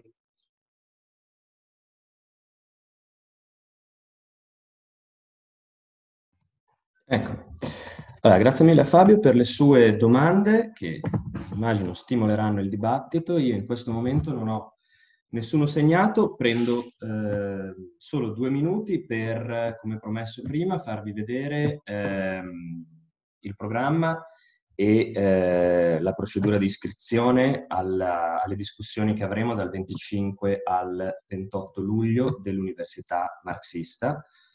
Eh, per vederle è semplicissimo, basta andare su rivoluzione.red, qui sulla destra vedete che c'è il banner dedicato al, all'evento. Eh, il programma è molto ricco, il sabato 25 luglio ci sarà una discussione di prospettive per la rivoluzione mondiale che sarà introdotta da Alan Woods e poi una sessione per una raccolta di autofinanziamento eh, della nostra internazionale. Domenica 26 luglio avremo due sessioni in eh, parallelo eh, con ehm, eh, tre discussioni per ogni sessione, perché il capitalismo ha fallito, la storia della tendenza marxista internazionale, il marxismo e la scienza moderna, e poi una seconda con collaborazione di classe, compromessi e crisi del riformismo, marxismo contro settarismo e marxismo contro postmodernismo. Lunedì 27 eh, una prima sulle basi dell'economia marxista, sul ruolo dello Stato, quindi marxismo contro anarchismo, e sul materialismo storico, e una seconda eh, su eh, un confronto fra marxismo, la risposta del marxismo alle politiche identitarie, proprio uno di questi temi che toccava Fabio, quindi cambiare il clima, cambiare il sistema e non il clima, il marxismo e l'ambiente, e una sessione su marxismo contro post-colonialismo. Infine, l'ultimo giorno avremo sempre prima tre discussioni in parallelo su marxismo e religione, marxismo e teoria queer e marxismo, una critica al pacifismo, e infine una sessione sulla costruzione del partito rivoluzionario in tutto il mondo. Tutte queste discussioni si sviluppano dalle ore 14, fuso orario italiano, alle ore 22. Tenete in considerazione che ci saranno, appunto abbiamo più di 90, iscritti da più di 90 paesi in tutto il mondo e quindi eh, diciamo che saranno collegati alle ore più disparate, questi sono le, gli orari italiani. Per iscriversi eh, è semplicissimo, a questa stessa pagina, vedete c'è compila questo modulo e avete un modulo del tutto analogo a quello che avete eh, compilato per partecipare alla discussione di oggi o eh, degli ultimi eh, GSM, in cui potete indicare i vostri eh, nomi e recapito a cui vi invieremo il link e tutte le istruzioni per la partecipazione. Eh, per chi partecipa dall'Italia eh, ci sono delle, diciamo, c'è una, una, una, campagna straordinaria, un'offerta straordinaria per cui la quota di partecipazione, che è molto contenuta per permettere a tutti di partecipare, eh, dà diritto, se si partecipa all'intera scuola, quindi con la quota da 30 euro nel caso se uno ha reddito o di 15 euro se uno non ha un reddito, dà automaticamente diritto anche all'abbonamento a Rivoluzione, quindi al nostro eh, giornale, eh, il cui ultimo numero peraltro è appena uscito e eh, consiglio a tutti di richiedere se non l'avete già eh, ricevuto in abbonamento eh, o, o, per mail. Eh, detto questo, si è alzata una mano e quindi lascio eh, la parola ad Alessandro Giardiello, che è qua, chiedendo a tutti di non essere timidi nel segnarsi, altrimenti poi capitare che negli ultimi interventi dobbiamo tagliare i tempi. Prego, Alessandra. Buonasera compagni. Franco, scusate un attimo.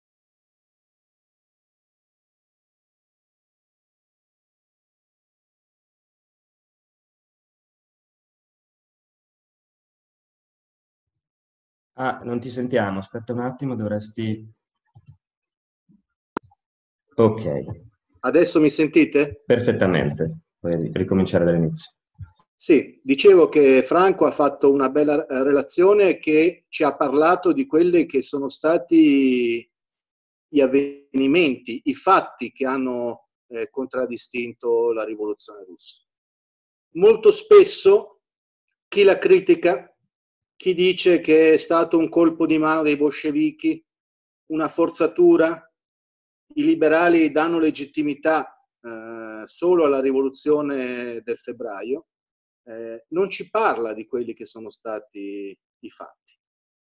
Ci sono due libri fondamentali che io suggerisco a tutti i compagni. Uno è stato scritto dallo stesso Trotsky, capo del Soviet Supremo e poi eh, nei primi anni dell'Armata Rossa e in seguito principale oppositore eh, di Stalin eh, quando eh, degenerò la rivoluzione eh, in Unione Sovietica. Il secondo libro è stato scritto da un giornalista americano che era un rivoluzionario, John Reed, Dieci giorni che sconvolsero il mondo. E lì si vede con dovizia di particolari, così come oggi eh, Franco ha illustrato nel suo intervento, come eh, la rivoluzione fu un processo eh, di massa. Trotsky ebbe modo di dire ehm, che eh, la formazione dei quadri e dei militanti comunisti partiva dallo studio approfondito della rivoluzione russa. Quindi per noi questa discussione ha eh, un'enorme importanza, una colossale eh, importanza. Eh, noi possiamo eh, vedere in questo processo, eh, trarre eh, da questo processo importanti lezioni, importantissime eh, lezioni. Io nel poco tempo che ho proverò a eh, illustrarne alcune. In primo luogo, come ci è stato spiegato, Lenin ritorna in Russia eh, e nonostante fosse il capo indiscusso del partito, all'epoca non esistevano ancora i segretari, questa fu un'invenzione successiva dello stesso Stalin. Eh, spesso il segretario nel partito bolscevico era una figura secondaria. Eh, Lenin eh, si trova in minoranza assoluta all'interno del proprio comitato centrale. Da solo, ehm, convince il partito nel giro di pochi mesi, eh, trovando il sostegno e l'appoggio dei lavoratori più avanzati, eh, in particolare quelli del quartiere operaio di Viborg, che la rivoluzione non è una rivoluzione democratico-nazionale, ma è una rivoluzione socialista. E che i lavoratori, nonostante all'epoca fossero una piccola minoranza della popolazione russa. Gli operai industriali erano circa il 4% della popolazione. Eh, era un proletariato eh, combattivo, molto concentrato in grandi realtà industriali che in gran parte erano state create dal capitalismo internazionale un proletariato molto combattivo che però eh, era minoritario in un mare di eh, contadini, in una società arretrata dalle caratteristiche eh, feudali. Ehm, la posizione che avevano i menscevichi, socialisti rivoluzionari, così come il partito bolscevico, guidato in, prima dell'arrivo di Lenin da Kamenev e dallo stesso Stalin, che dirigeva la Pravda, era eh, una posizione di eh, sostegno alla cosiddetta borghesia democratica. Lo schema che guidava questi compagni è che la rivoluzione era una rivoluzione borghese eh, e quindi era la borghesia che doveva prendere il potere nelle proprie mani. Il problema, così come l'aveva spiegato Trotsky da tempo, in un testo molto famoso, Bilanci e prospettive del 1906, è che la borghesia russa non aveva un atomo eh, di eh, posizioni rivoluzionarie. Eh, I giacobini erano stati superati, facevano parte di un'altra fase storica. La Russia era arrivata al capitalismo eh, troppo tardi e non c'era alcuna volontà da parte della borghesia di eh, fermare la guerra e di fare una rivoluzione eh, borghese portando avanti quelli che sono i compiti classici di una rivoluzione borghese, cioè la distribuzione della terra, la riforma agraria. Queste riforme, non a caso, che erano al centro del programma dei socialisti rivoluzionari, che erano una formazione contadina, democratica, rivoluzionaria, questo programma venne portato avanti eh, dai bolscevichi dopo la presa eh, potere, del potere. Non è un caso, infatti, che Kamenev nel primo articolo di critica alle tesi di aprile di Lenin, eh, dirà che eh, Lenin eh, aveva aderito alle posizioni eh, di Trotsky, rimanendo legato a un vecchio schema che era stato sviluppato anni prima della dittatura democratica e rivoluzionaria degli operai e dei contadini. Ehm, le lezioni che possiamo trarre, come dicevo, sono molte perché mentre da una parte c'era un'intransigenza totale e assoluta da parte di Lenin contro gli altri partiti della classe operaia eh, russa, nel corso eh, del, dell'agosto, quando ci fu il tentativo di golpe da parte eh, di Kornilov, eh, Lenin non esitò un solo istante ad applicare una tattica di fronte unico con quei partiti che eh, lo avevano costretto a scappare in Finlandia, che avevano arrestato eh, Trotsky. Eh, la famosa frase fu dobbiamo appoggiare il nostro fucile sulle spalle di Kerensky. E di fatto furono gli artefici, i protagonisti eh, della lotta contro il golpe che venne sconfitto. Se c'è stato un golpe nel 17 questo non fu quello dei bolscevichi, ma fu il tentativo sconfitto eh, di Kornilov che avrebbe imposto una dittatura spietata eh, se eh, fosse riuscito a conquistare eh, il potere. L'altro aspetto fondamentale è che eh, una teoria compiuta sullo Stato, eh, i rivoluzionari, i marxisti, la svilupparono solo nel corso della rivoluzione esistevano le riflessioni di Marx dopo l'esperienza della Comune di Parigi. Eh, vorrei ricordare che eh, i bolscevichi facevano lunghi seminari di quello che fino all'epoca era stata l'unica rivoluzione proletaria, appunto la Comune di Parigi. Esistevano le riflessioni eh, di Marx, ma una, teoria compiuta sullo Stato operaio non c'era e venne sviluppata in Finlandia eh, da Lenin eh, proprio nel corso della, della rivoluzione. Quel testo è un testo fondamentale, eh, rappresenta un vero e proprio spartiacque tra le concezioni rivoluzionarie e, eh, e le concezioni eh, riformiste. È eh, fondamentale anche distinguere un altro aspetto che spesso viene confuso anche da compagni che si considerano eh, comunisti e cioè la differenza che esiste tra il termine rivoluzione ed il termine insurrezione. La rivoluzione è un processo che parte dalle masse, parte spontaneamente dalle masse quando arrivano al punto in cui che, eh, i livelli di sopportazione vengono infranti e sono alla ricerca di un'alternativa. La rivoluzione del 1905 fu una rivoluzione spontanea. La rivoluzione che parte nel febbraio del 17 fu una rivoluzione eh, spontanea, non venne preparata da nessuno.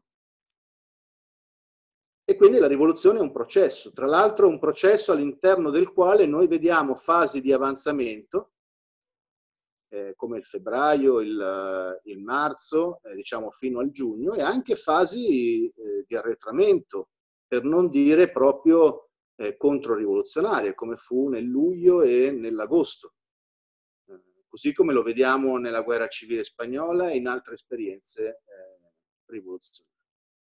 L'atto dell'insurrezione invece non è spontaneo, è un atto organizzato da un partito che esprime la volontà rivoluzionaria eh, della classe lavoratrice e che è in grado di dargli un'espressione eh, compiuta che è quello che fece appunto il Comitato Militare Rivoluzionario dei Soviet sotto la direzione di Trotsky e di Antonov Ovsenko eh, nell'ottobre del eh, 17 e con il sostegno del partito bolscevico e della stragrande maggioranza dei lavoratori.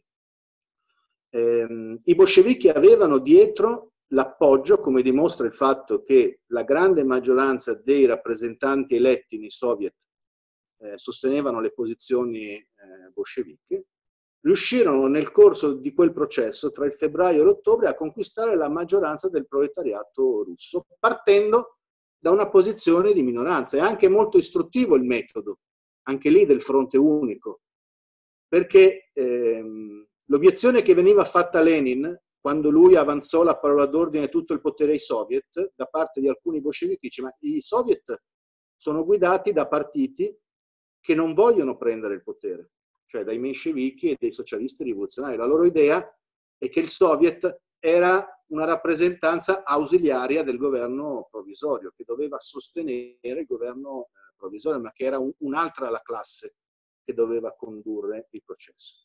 Lenin, nonostante fossero i riformisti, i conciliatori ad avere eh, la maggioranza, diceva prendete voi il potere. Perché? Perché questo aveva, eh, era un metodo per educare le masse, era un approccio pedagogico.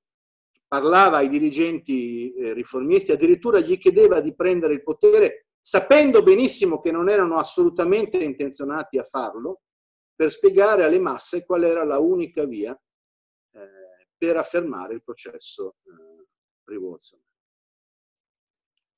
Ehm, ci sono anche altri comunisti che eh, considerano i soviet come una caratteristica esclusivamente eh, russa. Io mi sento di smentire categoricamente questa idea, perché dal 1917 ad oggi è passato oltre un secolo, abbiamo visto numerosi processi rivoluzionari e diversi di questi sono stati trattati dai, no dai nostri gruppi di discussione eh, marxista, dai nostri video, delle attività online che eh, ha organizzato in questi mesi la nostra organizzazione, Sinistra Classe Rivoluzione. Eh, noi abbiamo visto la formazione di consigli, di juntas, di assembleas populares eh, in tutti i processi rivoluzionari nella storia. Il fatto che cambiassero il nome a seconda delle latitudini eh, a seconda dei paesi non significa che eh, cambiasse la sostanza di questi organismi. Perché i soviet? Perché i soviet sono l'unico organismo che è in grado di rappresentare in forme immediate i salti di coscienza che all'interno di un processo rivoluzionario eh, inevitabilmente si producono. E qui vengo alla domanda eh, che ha fatto il compagno Fabio, su cui mi piacerebbe dire alcune cose eh, che riguardava la prima domanda, la questione della coscienza di classe. Ora, la questione della coscienza di classe eh, è una questione molto dibattuta a sinistra, però poco compresa. E non sto dicendo che sia poco compresa da parte di Fabio, sto parlando in generale di quello che è il dibattito eh, a sinistra. Nel senso che la coscienza di classe è qualcosa di molto elastico, che cambia in forme brusche e, e repentine, particolarmente in un processo eh, rivoluzionario. Ora, noi per capire se i proletari di oggi possono fare una rivoluzione come venne fatta dal proletariato russo nel eh, 17, non dobbiamo partire dall'attuale livello di coscienza eh, dei lavoratori in Italia e mondo. Perché se noi guardiamo a quello che era il livello di coscienza, per esempio, degli operai russi nel 1905, la rivoluzione del 1905 venne guidata da un prete ortodosso, da Pope Gapon, che si faceva e guidata anche da un sindacato reazionario che era eh, stato costruito dallo stesso regime, il sindacato di Zubatov. Eh, I lavoratori scesero in piazza nel 1905 per chiedere al padre della patria, cioè allo zar, eh, che facesse delle riforme. Non hanno mostrato un alto livello eh, di coscienza. Fu dopo la domenica del terrore, del massacro eh, dei lavoratori russi, eh, che eh, si radicalizzarono e che eh, iniziarono a trarre conclusioni eh, rivoluzionarie. Sto prendendo un po' di tempo, eh, il moderatore me lo segnala, però volevo finire eh, su questo, su, questo, concetto che è un concetto eh, fondamentale. E, ehm, noi dobbiamo avere ehm, ben presente che ehm, ehm, la, la, la, coscienza dei, dei lavoratori eh, ha dei, dei, cambiamenti molto bruschi. Eh, oggi potenzialmente il proletariato è molto più preparato eh, rispetto a quanto non fosse eh, all'inizio del XX secolo. Perché? Intanto perché non è una minoranza nella società. Oggi i lavoratori dipendenti, operai e lavoratori in genere, rappresentano la maggioranza della popolazione e questo è un dato oggettivo. Si dice che è sparito il proletariato, non lo so, non so su che base lo dicono, visto che ci sono eh, 2 miliardi di proletari eh, nel mondo. Eh, la questione agraria è una questione sostanzialmente risolta, mentre invece all'epoca di Lenin, di Trotsky, della rivoluzione russa, era un problema centrale di qualsiasi processo rivoluzionario si sviluppò in quegli anni. I contadini ormai sono una classe eh, minoritaria e non svolge un ruolo decisivo eh, nella società. Eh, se vediamo anche in paesi che una volta erano definiti del terzo mondo, c'è stata un'urbanizzazione impressionante negli ultimi 30 anni. Eh, abbiamo percentuali di urbanizzazione dell'80-90% eh, nei paesi dell'America Latina, in Asia, eh, ed esistono le basi proprio per l'enorme sviluppo delle forze produttive che c'è stato per organizzare un'economia pianificata come mai c'è stata eh, nella storia. Eh, la questione è eh, quindi, eh, e lo vediamo negli Stati Uniti, che erano considerati il cuore della bestia, venivano considerate da molti eh, nel vecchio partito comunista come un unico blocco reazionario, oggi è in corso un processo pre-rivoluzionario in quello che è il principale paese imperialista nel mondo, il vero e proprio pilastro dell'ordine costituito a livello eh, mondiale. Le politiche neoliberiste degli ultimi 25 anni hanno avuto un effetto superficiale sulla coscienza e questo cambierà eh, bruscamente come lo abbiamo visto eh, negli Stati Uniti d'America e come presto vedremo in molti paesi a livello eh, internazionale. Le forze rivoluzionarie saranno anche parcellizzate, però su questo, e la seconda domanda che ha fatto Fabio, non dobbiamo essere superficiali le discussioni che attraversano i vari gruppi che si richiamano al marxismo spesso non sono secondarie, come dicono alcuni, che pensano che bisogna fare l'unità a tutti i costi. L'unità ha senso se ci sono delle basi politiche comuni. Mi riferisco ad esempio a quello che fu il dibattito che ci fu nel Partito Sociale Rivoluzionario Russo tra chi pensava che la rivoluzione doveva essere un processo guidato dalla borghesia e chi invece pensava che il proletariato era l'unica classe rivoluzionaria. Poteva sembrare una disquisizione teorica che però si rivelò decisiva poi quando realmente la rivoluzione partì nel febbraio eh, del 17. Ad unificare il movimento rivoluzionario, a farlo avanzare e a superare le divisioni, penseranno i movimenti di massa che si svilupperanno già a partire dal prossimo autunno. Noi non crediamo ai contenitori a freddo, alle fusioni che non hanno basi politiche, ai fronti di unità che non sono spinte dai movimenti di massa.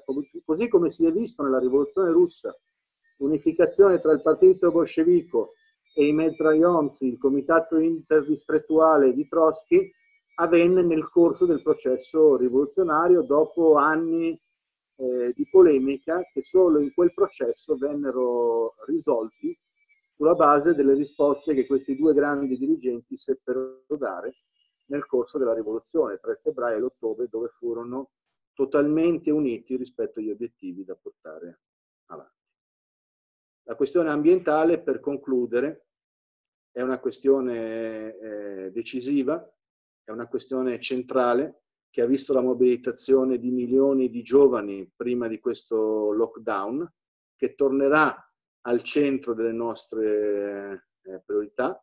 Ci sono stati dei grandi contributi da parte di Marx e di Engels eh, su questa questione, mi riferisco a un testo incompiuto come la dialettica eh, della natura. Abbiamo gli strumenti politici, filosofici e Costruiremo anche quelli organizzativi nei prossimi anni per affrontare questo problema che però in ultima analisi può trovare una soluzione solo quando riusciremo ad espropriare eh, i grandi mezzi di produzione, le aziende del fossile che sono state le principali responsabili della distruzione eh, dell'ecosistema. Oggi una rivoluzione è possibile, il nostro scopo è quello di preparare l'avanguardia perché, come dimostra la rivoluzione russa, senza un partito organizzato che abbia radici nel movimento eh, di massa, una rivoluzione non può giungere al potere. E una volta che costruiremo un moderno potere eh, socialista, basato sul controllo dei lavoratori, sulla pianificazione economica, dove non ci sarà più la questione di garantire i profitti per una minoranza, ma ci sarà una società governata per il benessere generale eh, dell'umanità, affronteremo e risolveremo il problema ambientale, così come tanti problemi che si sono accumulati in questa crisi per colpa di un sistema, sistema capitalista eh, di produzione, che per definizione è un sistema che è disposto a sacrificare tutto sull'altare dei profitti di un pugno di capitalisti eh, a spese di eh, miliardi eh, di persone, come è stato fin troppo evidente in questa crisi eh, sanitaria. Quindi noi dobbiamo ispirarci alla rivoluzione russa, non dobbiamo eh, semplicemente fare la geografia eh, l'apologia della rivoluzione russa, dobbiamo studiarla e apprendere dalle lezioni di questo eh, processo eh, storico eh, fondamentale che ispirerà milioni di lavoratori e di giovani nei futuri processi che attraverseranno eh, la nostra società.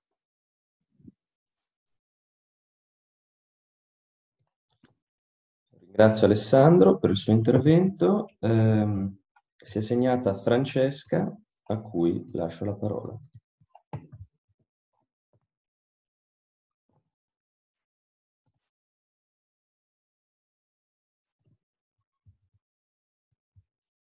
Ci sei Francesca? Uh, sì, eccomi, scusate.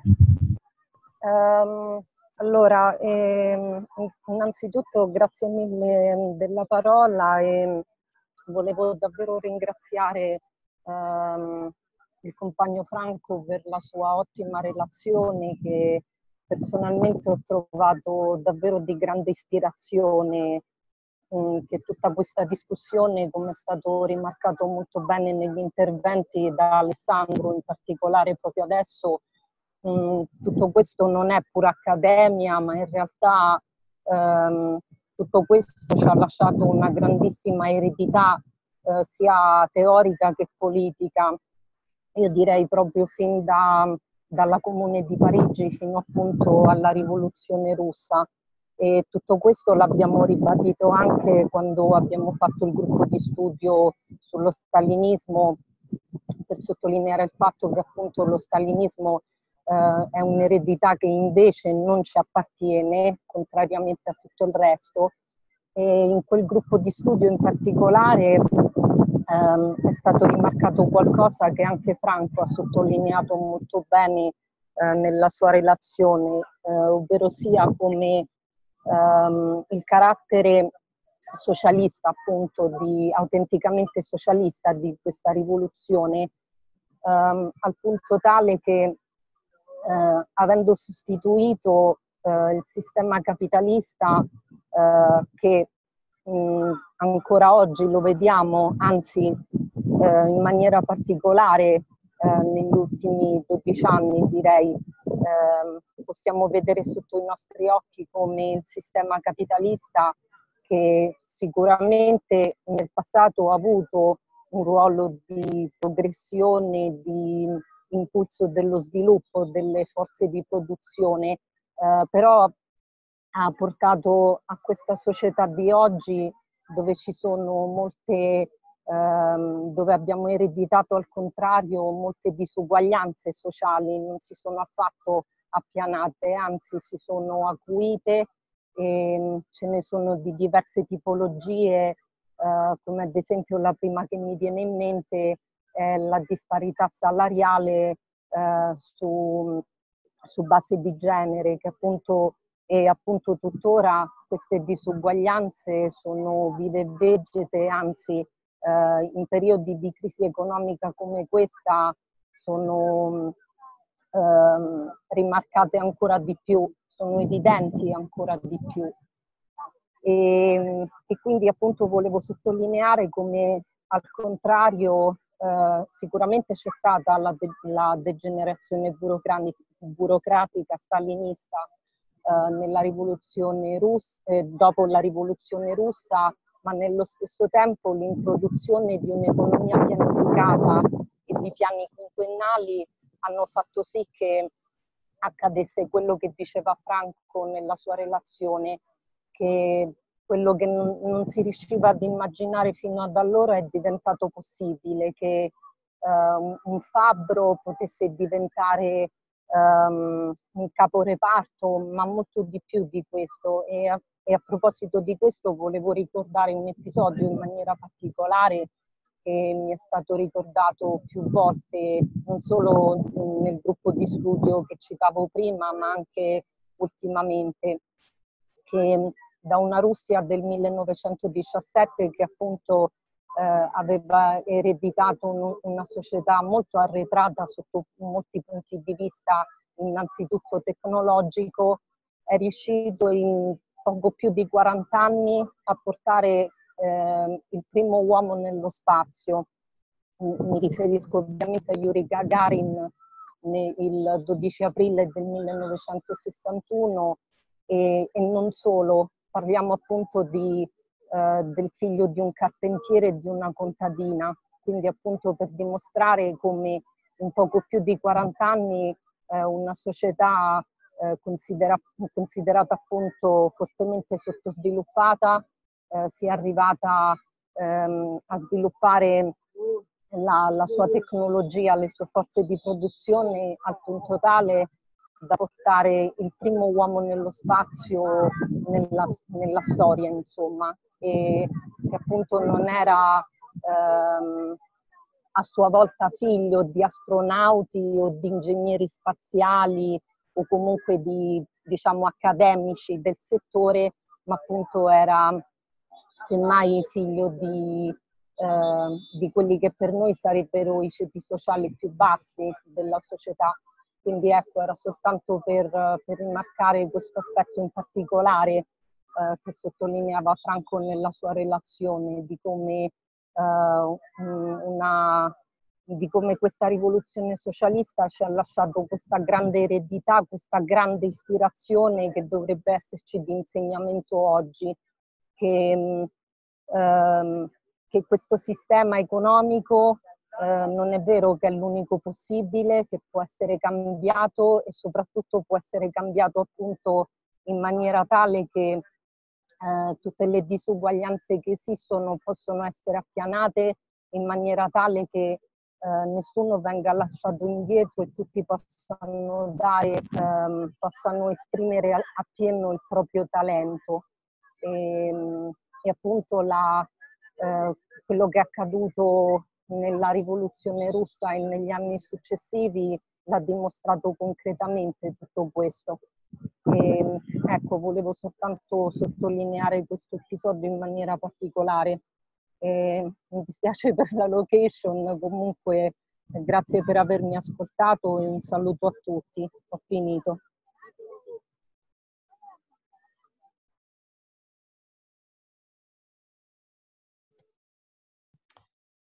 Perfetto, ringrazio anche Francesca per il suo intervento. Siamo felici che sia un luogo ameno. E io in questo momento non ho eh, altri interventi segnati, quindi se ci fossero ancora domande o se qualcuno vuole aggiungere qualcosa, vi prego di segnarvi eh, in modo da poter intervenire perché è l'ultima occasione che avete.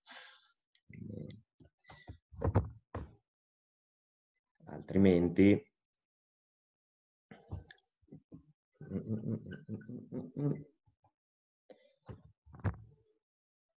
ok abbiamo Vincenzo Politi prego.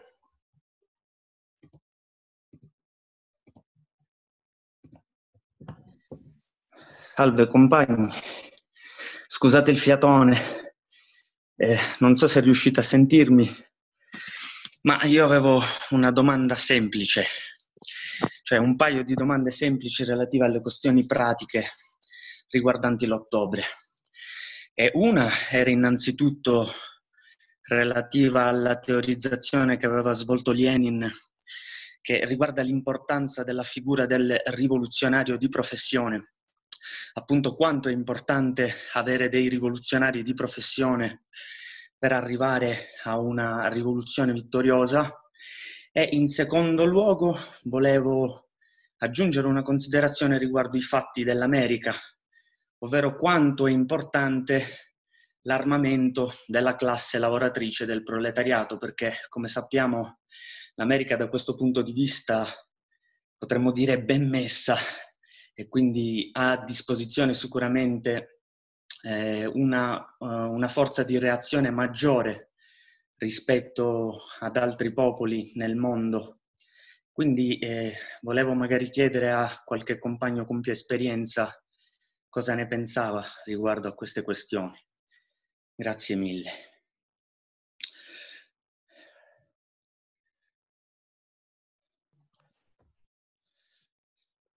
Grazie Vincenzo. Prego. Ehm, chiedo se ci sono... Qualcuno vuole intervenire in merito alle sollecitazioni fatte da Vincenzo?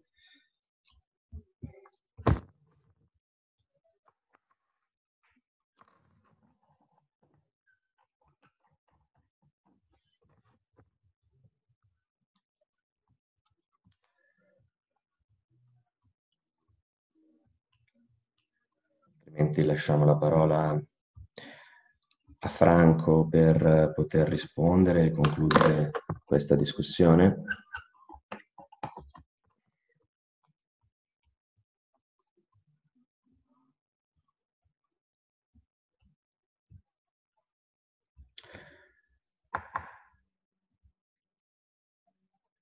Allora, nessuno sta chiedendo la parola.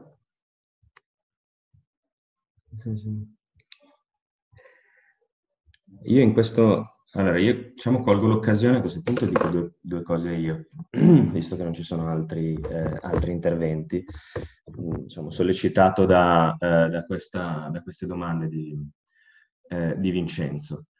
E, ehm,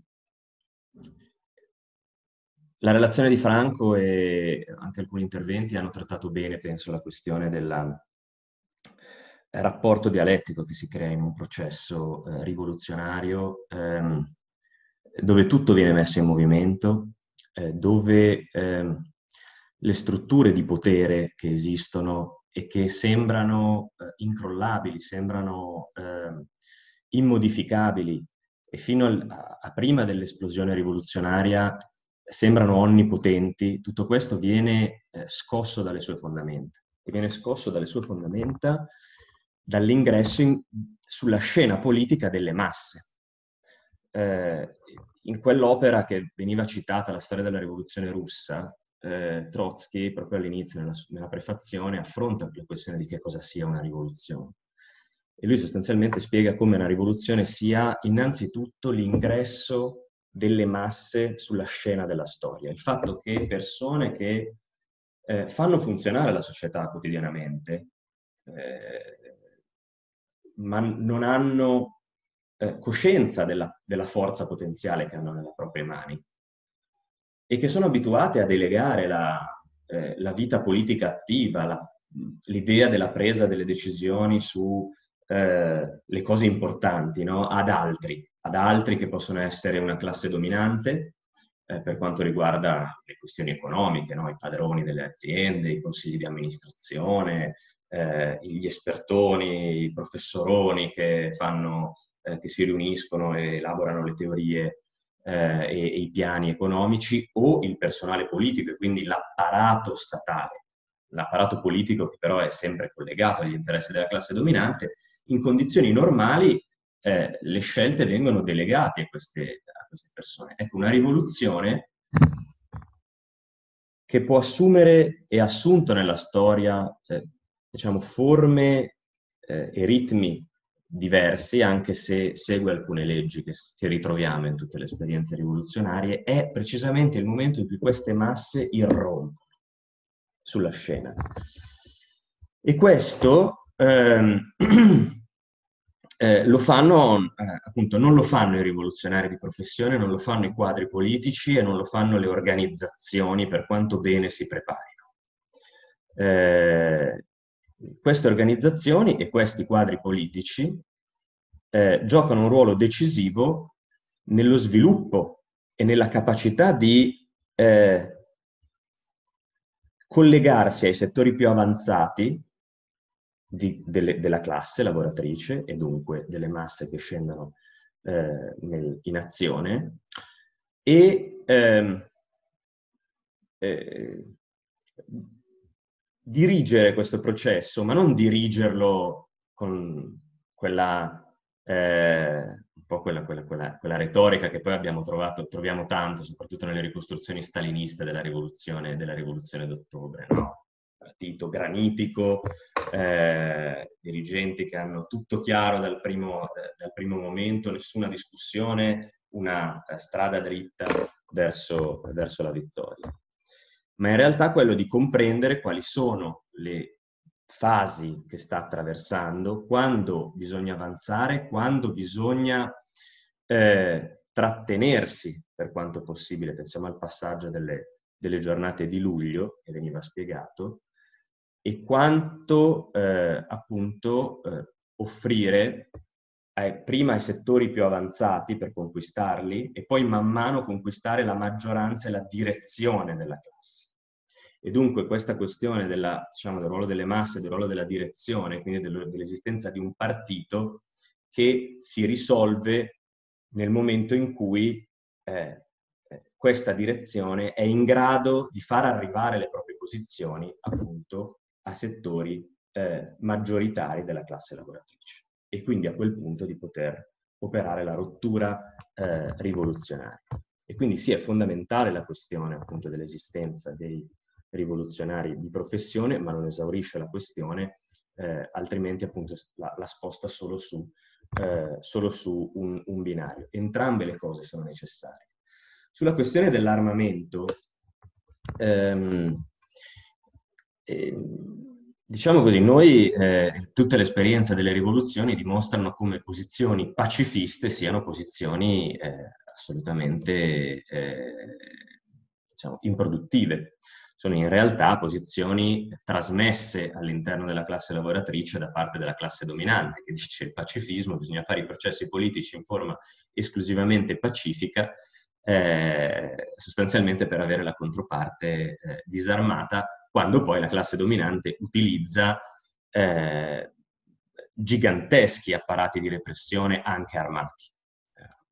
Polizia, corpi diversi, innumerevoli corpi di polizia, militari, eh, che eh, diciamo, si dividono il compito eh, quotidianamente nella repressione della, della, delle, delle, delle contraddizioni anche violente che partono dal basso della società per provare a rompere una società strutturalmente oppressiva e che basa la sua oppressione sulla violenza.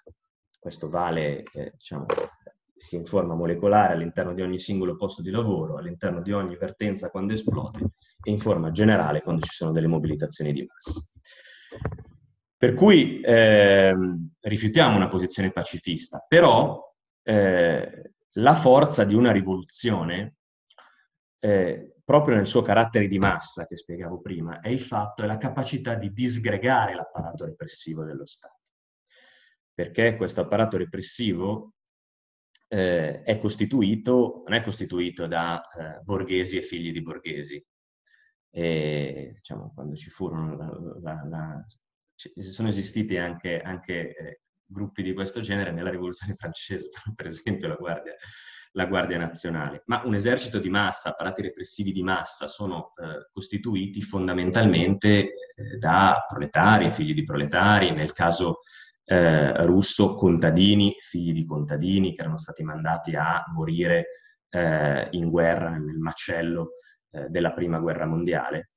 Eh, e questo carattere lo rivediamo anche oggi. Quando c'è una mobilitazione veramente di massa, eh, che non è disposta, diciamo così, ci sono due elementi. Il primo è quello di una identificazione di classe dei settori di base dell'apparato repressivo nei confronti di chi ha davanti. Eh, e il secondo è la forza della mobilitazione di massa e la sua decisione a non arretrare più. Questo, eh, e questa è una legge, lo vediamo sempre ripetersi, crea almeno degli elementi di, inizialmente di disgregazione, se non poi degli elementi veri e propri di solidarietà nei confronti eh, del, del movimento da parte degli elementi eh, di base dell'esercito. Ed è per questa ragione anche che, per esempio, eh, negli Stati Uniti eh, c'è stata un'opposizione da parte dei vertici militari del Pentagono a schierare l'esercito nelle strade eh, a supporto della polizia. Perché già vedevamo alcuni, alcune difficoltà, quantomeno, mi permetto di dire, da parte degli elementi di base della polizia. Abbiamo visto molte volte le scene di eh, agenti che venivano ritirati in seconda linea e sostituiti perché i diretti superiori stavano, capivano che la pressione che avevano addosso dalla, eh, non, non, avrebbe assicurato un'azione repressiva eh, affidabile. Ma pensiamo che cosa vorrebbe dire mettere in campo l'esercito che è reclutato mh, nei settori popolari della società statunitense, in gran parte reclutato fra persone che non hanno una prospettiva di lavoro e che quindi eh, si arruolano semplicemente per poter portare a casa eh, uno stipendio, che è stato attraversato dall'esperienza delle guerre, eh, in questo caso guerre imperialistiche combattute all'estero, in Afghanistan, in Iraq, eh, per cui c'è un grosso scetticismo già esistente, almeno in settori eh, dell'esercito statunitense, verso la classe dominante e verso gli stessi eh, vertici militari. Ecco, mettere questi uomini a confrontarsi non con gruppi di 100 o 200 attivisti, come li chiama Trump, antifa, che rompono le vetrine, che è una visione caricaturale. Eh, e da questo punto di vista non capiranno mai niente quelli che teorizzano appunto la, eh, ideologizzano lo scontro frontale eh, verso gli apparati repressivi. Questo non fa altro che in realtà fare il gioco dei vertici militari o dei vertici polizieschi, a dire guardate sono no, i classici, eh, sono i 200 dei centri sociali oh, che vengono e vogliono l'estetica dello scontro. Non interessa l'estetica dello scontro, a noi interessa vincere lo scontro. E questo lo fai quando c'è una mobilitazione di massa e quindi elementi di questo genere messi davanti a manifestazioni di centinaia di migliaia di, di persone in decine se non centinaia di, eh, eh, di città, eh, con un tracollo della credibilità del regime economico, del regime politico, dei vertici politici e militari, e vedono i propri fratelli, sorelle, padri, figli che sono eh, in una lotta di questo genere, che è evidente a tutti che è una lotta giusta e dunque lo è evidente anche ai livelli eh, appunto più eh, diciamo di base dell'apparato repressivo, tu hai, avresti uno sfaldamento. E quando ti si sfalda l'esercito, eh, il potere sostanzialmente resta nelle strade, resta eh, potenzialmente quantomeno nelle mani della classe, della classe lavoratrice. Il problema, questo, questo è, è un meccanismo che abbiamo visto ripetersi in, in, tutti processi, in, tutti i processi, rivoluzionari, anche quelli sconfitti, pensiamo agli ammutinamenti dell'esercito eh, all'inizio della rivoluzione tedesca, eh, base, poco, subito dopo quella, quella, quella, russa, precisamente quello che è successo in Russia che spiegava, che spiegava Franco, eh, ma nel maggio francese eh, De Gaulle aveva, cioè, scappò dalla Francia perché aveva perfettamente chiaro che non ne sarebbe stato mai in grado di reprimere eh, eh, quel movimento e fu la direzione invece della, ehm, eh, del movimento operaio, il Partito Comunista, eh, soprattutto a diciamo, permettere la ricostituzione, dando un tempo e di fatto appoggiando la ricostituzione e la ristabilizzazione dell'apparato dello Stato, dello Stato borghese. Nel biennio rosso in Italia fu precisamente la stessa, eh, la stessa eh, situazione. E, ehm, e oltre a questo, diciamo, a questo, a questo, sfaldamento, a questa impasse, a questa disgregazione, eh, corrispondono sempre la creazione di organismi di contropotere. E, eh, che, lo diceva Alessandro, mi sembra, nel suo intervento, mh, si sviluppano sempre, possono prendere tanti nomi. In Russia presero il nome di Soviet, eh, in Cile pochi mesi fa preso, hanno preso il nome non hanno raggiunto il livello, diciamo così, di, di, di eh, decisionale eh, di potere assunto dai soviet, ma hanno preso il nome, per esempio, di cabildos abiertos, assemblee popolari che organizzano eh, il movimento e che progressivamente, man mano che si crea una situazione di dualismo di potere, eh, prendono in mano la gestione generale della società coordinandosi fra di loro. D'altronde anche i soviet eh, nascono come, come comitati di sciopero, sostanzialmente organismi operativi eh, di un movimento che poi man mano prendono in mano la gestione dei vari aspetti della società proprio eh, eh, con, questa, diciamo, con questa strutturazione di un nuovo potere alternativo. Eh, più rapidamente e più decisamente questo processo viene sviluppato, e quindi appunto è un processo di massa, ehm, compreso funzioni eh, militari, però quello che avviene sostanzialmente è che appunto eh, vengono, vengono eh, aperte le caserme, viene armata la popolazione, si armano i lavoratori, eh, più decisamente questo processo avanza, eh, meno violenza è necessaria in un processo rivoluzionario. Perché appunto la disgregazione dell'apparato repressivo dello Stato porta alla possibilità di processi del tutto pacifici, come furono le giornate dell'ottobre, eh, dell'ottobre eh, in Russia, eh, e come eh, potenzialmente sono stati eh, numerosissimi processi, processi rivoluzionari anche, anche nel Novecento, e come potrebbero esserlo oggi. Questa è, è la verità. E eh, se questa, questa, questo, diciamo, questa, organizzazione rivoluzionaria manca, invece si creano le condizioni poi per una, eh, una, una ricostituzione, una riorganizzazione e dunque un eh, ruolo molto più sanguinario della, eh, della reazione. E, però appunto è, è, questo elemento fondamentale. Dal punto di vista prettamente militare sarà sempre impossibile una, una vittoria sul campo aperto contro un esercito, un esercito professionale nazionale. L'essenza della rivoluzione è precisamente la disgregazione di questo apparato, di questo apparato repressivo e la sua rottura su basi, eh, su basi di classe. Per cui alla fine cosa succede? Che è quello che si raccontano tutte le testimonianze delle rivoluzioni, eh, che i verdi generali, i colonnelli gli alti ufficiali danno ordini e questi ordini cadono assolutamente nel vuoto perché non vengono eseguiti fin tanto che qualche sottufficiale o qualche soldato direttamente eh, arresta i propri diretti, eh, i propri diretti superiori eh, e, quindi que- e, quindi quell'apparato repressivo cessa di esistere eh, e quelle armi passano dalla parte, eh, dalla parte della rivoluzione.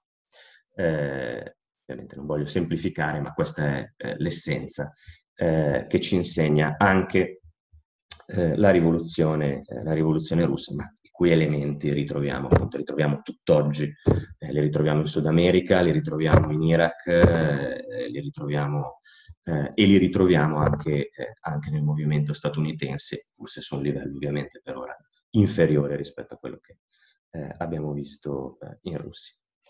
Io mi scuso se diciamo, che, diciamo, sono uscito dal semplice ruolo di moderatore di questa riunione, però nessun altro si era assegnato e tuttora nessun altro si è assegnato, quindi se non ci sono altri interventi a questo punto lascerei la parola a Franco per le conclusioni di questa discussione.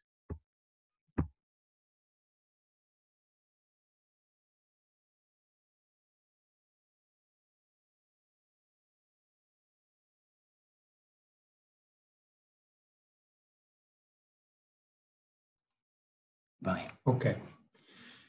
Bene, grazie compagni per gli interventi, sono stati tutti molto belli, approfonditi. Eh, diciamo che eh, praticamente hanno, hanno risposto a, a tutti gli interrogativi che eh, potevano, eh, potevano, sorgere dalla, dalla mia relazione.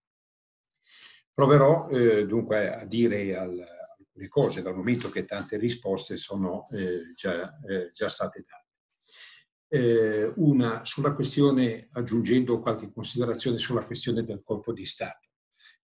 Eh, lo, lo, storico eh, di destra, Malaparte, aveva definito, mh, parlando del, della, rivoluzione, della rivoluzione russa, che a vincere in quella rivoluzione non era stata la strategia eh, di Lenin, ma eh, la tattica di Trotsky. E questo in relazione ad una concezione dove non, vedeva, non si vedeva il, il protagonismo delle masse, o che comunque poi si riteneva più preponderante di maggiore importanza l'aspetto eh, cospirativo, quello che più si poteva avvicinare all'idea del, del colpo di Stato. Beh, insomma, eh, tutta la dinamica degli avvenimenti che vanno dal febbraio, eh, dal 23 febbraio del 1917 fino alla sua conclusione con la, la presa del potere, eh, con la conquista del Palazzo d'Inverno e la conclusione del congresso, del congresso dei soviet, mi pare che dimostri esattamente il, il contrario.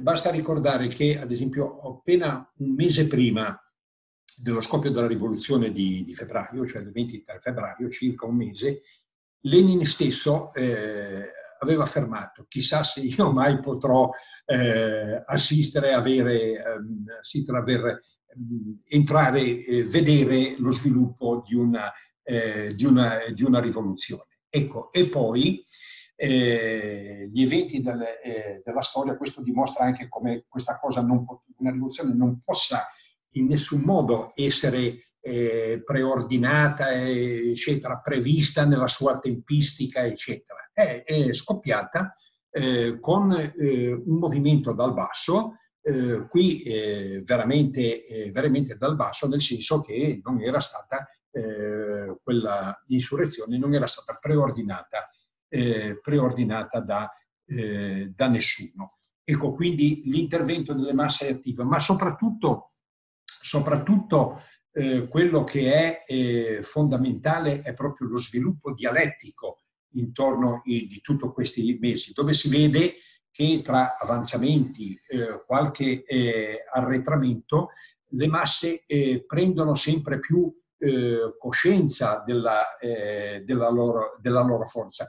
Intervengono eh, negli avvenimenti, anche gli avvenimenti si, si determinano anche in, indipendentemente diciamo, da una volontà soggettiva eh, de, eh, delle masse. Ma quando, quando i, gli, i, fatti ci sono, si verificano, gli avvenimenti ci sono, le masse intervengono e li modificano questi, eh, questi avvenimenti. È questo il punto. Questi sono, eh, sono uno dei, eh, dei, punti, eh, dei, punti, fondamentali. Quindi c'è l'intervento, in questo caso soggettivo, attivo de, delle masse, che incide nel processo rivoluzionario muta anche il, eh, il corso degli avvenimenti e sviluppa la questione della eh, coscienza. È un, lo sviluppo della coscienza è un accumulo di esperienze, è un accumulo di forze. Questo è un punto molto importante perché in effetti io ormai già qualche anno eh, sulle, sulle, spalle e, e è eh, il dibattito veramente sterile che eh, al quale ho dovuto assistere in tutta la, la sinistra, anche quella che si definiva marxista, eh, comunista. In realtà la sostanza di queste posizioni si dava sempre al, eh, la colpa al ritardo eh, nello sviluppo della coscienza di classe. Eh, non c'è eh, la coscienza di classe, ricordo i dibattiti in rifondazione, per fare un esempio molto, eh, molto concreto. In realtà queste cose sono sempre state prese come giustificazione più o meno cosciente, a qualche volta molto cosciente, della propria incapacità di sviluppare una prospettiva e di avere una coerenza tra lo sviluppo di quella prospettiva, il modo di agire, il modo di essere partito, il modo di essere avanguardia della classe alla quale spesso si faceva riferimento. Questa è la questione fondamentale. Quindi eh, è vero quello che diceva uh, Alessandro, che eh, noi, è una cosa che io ho imparato proprio in questa organizzazione. Noi non sottovalutiamo affatto gli aspetti della, eh, della teoria, gli diamo un'importanza fondamentale, non è il solo aspetto, ma è assolutamente de- eh, determinante, perché alcune cose che possono sembrare eh, poi insomma di, difficile, di facile soluzione, insomma uno che cosa si va a, a coltivare il proprio, il proprio, il proprio giardinetto, la propria soggettività, eh, eccetera, cioè ci, ci frazioniamo, è il, è il, refrain che molto spesso ci sentiamo, eh, ci, eh, ci sentiamo dire, eh, ci sentiamo dire. Ecco, cercare l'unità. L'unità a tutti i costi non eh, porta da nessuna parte. Io pongo solo un problema qua. Se Lenin avesse avuto una, una, una concezione di questo genere, le tesi di aprile non avrebbero mai visto la luce. E non, non, solo le tesi di aprile non avrebbero mai visto la luce, ma l'enigma del dualismo dei poteri nato dalla rivoluzione di febbraio non avrebbe trovato una soluzione. E nelle condizioni della Russia di, di allora non c'era nell'orizzonte la democrazia borghese, c'era la dittatura militare, come poi i fatti dell'agosto, della fine di agosto, hanno dimostrato, la dittatura di Cornio. Questo è, è quello, è, era, quello, era, lo sbocco di, di, quelle, di, quelle, cose. Solo grazie all'esistenza di quel partito, di quella direzione politica, che le cose hanno avuto eh, un, esito, eh, un esito diverso. Eh, che tipo di, di, socialismo si può eh, costruire? Beh, qua devo dire una cosa molto precisa. Noi eh, abbiamo una concezione materialistica della storia. Non concepiamo il socialismo come mutuando l'idea da Marx. Marx non ha mai concepito il socialismo come qualcosa che scaturisca eh, nella sfera eh, dell'idea, eccetera, se non addirittura degli, eh, del, dell'inconscio. È un processo, un processo che nasce, nasce dalle basi stesse del capitalismo. Questo, quello, eh, questo è il punto eh, fon, eh, fondamentale. il tipo di socialismo che si può costruire è quello del, sociali, del, del socialismo che deriva, deriva, per prima cosa, bisogna rompere con i rapporti di proprietà capitalistici. Questa è la questione fondamentale. Rompere con i, propri, i, i rapporti di proprietà capi, capitalistici, rompere con l'apparato dello Stato capitalistico, perché da questo punto di vista anche tutta l'evoluzione successiva alle, alla rivoluzione russa del 1917 ci dice, ecco, che lo Stato capitalistico non è riformabile dall'interno. Qui si tratta di una classe, di un dominio, di una classe contro un'altra. Questo è il punto, eh, punto, fondamentale. Lo Stato capitalistico, anche nella sua forma, nella sua forma più democratica, eh, di tipo di democrazia parlamentare, difende sempre la proprietà privata e difendendo la proprietà privata difende gli interessi del, eh, della, della, classe dominante. Questa è la lezione che non bisogna mai eh, eh, dimenticare. Il, risolta, una volta che risolta la questione del, del potere, eh, il tipo di socialismo, beh, questo, eh, compagni, sanno i lavoratori stessi che saranno in grado di mettere in piedi questa cosa. Questa cosa o, c'è, o c'è o non c'è questo è il, punto, è il punto. La rivoluzione russa per questo è un esempio probante, perché ci ha dimostrato che questa cosa c'è, che è possibile. L'esempio eh, del, eh, del, fabbro che diventa, rimette in piedi, dei fabbri che rimettono in piedi l'industria, dei ferrovieri, degli operai, gli ungitori di ruote che rimettono in piedi il traffico ferroviario e via discorrendo, dell'infermiere che diventa, eh, eh, eh dirige un, eh, un ambulatorio sanitario. Ecco, queste sono le cose, ma chi se non i lavoratori stessi sono in grado di fare, di fare queste cose? Ed oggi, parlando proprio dei nostri tempi, dei nostri giorni, ma che cosa ci dicono le giornate di marzo? Che cosa ci dicono le giornate di marzo?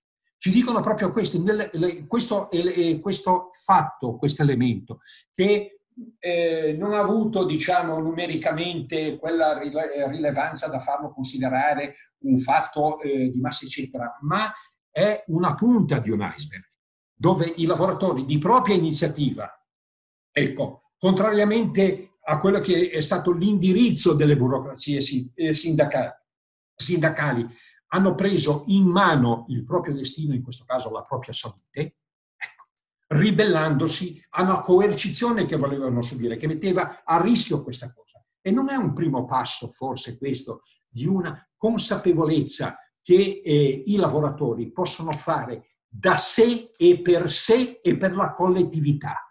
Questo è il punto. Queste sono, eh, sono, eh, sono le questioni. Non c'è stato fino a questo punto un adeguato sviluppo di questa coscienza, ma che importa? Che importa? Ma io quando mai l'ho vista questa cosa qua? Scusate. Eh, no, no, questo è tutto, è tutto, un, proce- è tutto un, eh, un, un processo che eh, si, si, si, svolge in questa direzione. E non può essere altrimenti che così, perché le masse imparano dall'esperienza, non è eh, dal, eh, se poi qualcuno, eh, operai, quali operai che sono necessari, hanno anche una preparazione teorica, di carattere politico, teorico, scientifico, approfondito, ben venga, sono, nece- sono eh, necessari, ma l'esperienza della massa, del, ma le, la coscienza della massa deriva dall'esperienza sul campo è anche sul campo che impari a costruire il socialismo una volta che hai nelle mani il potere e che lo tieni, e che lo tieni eh, saldamente.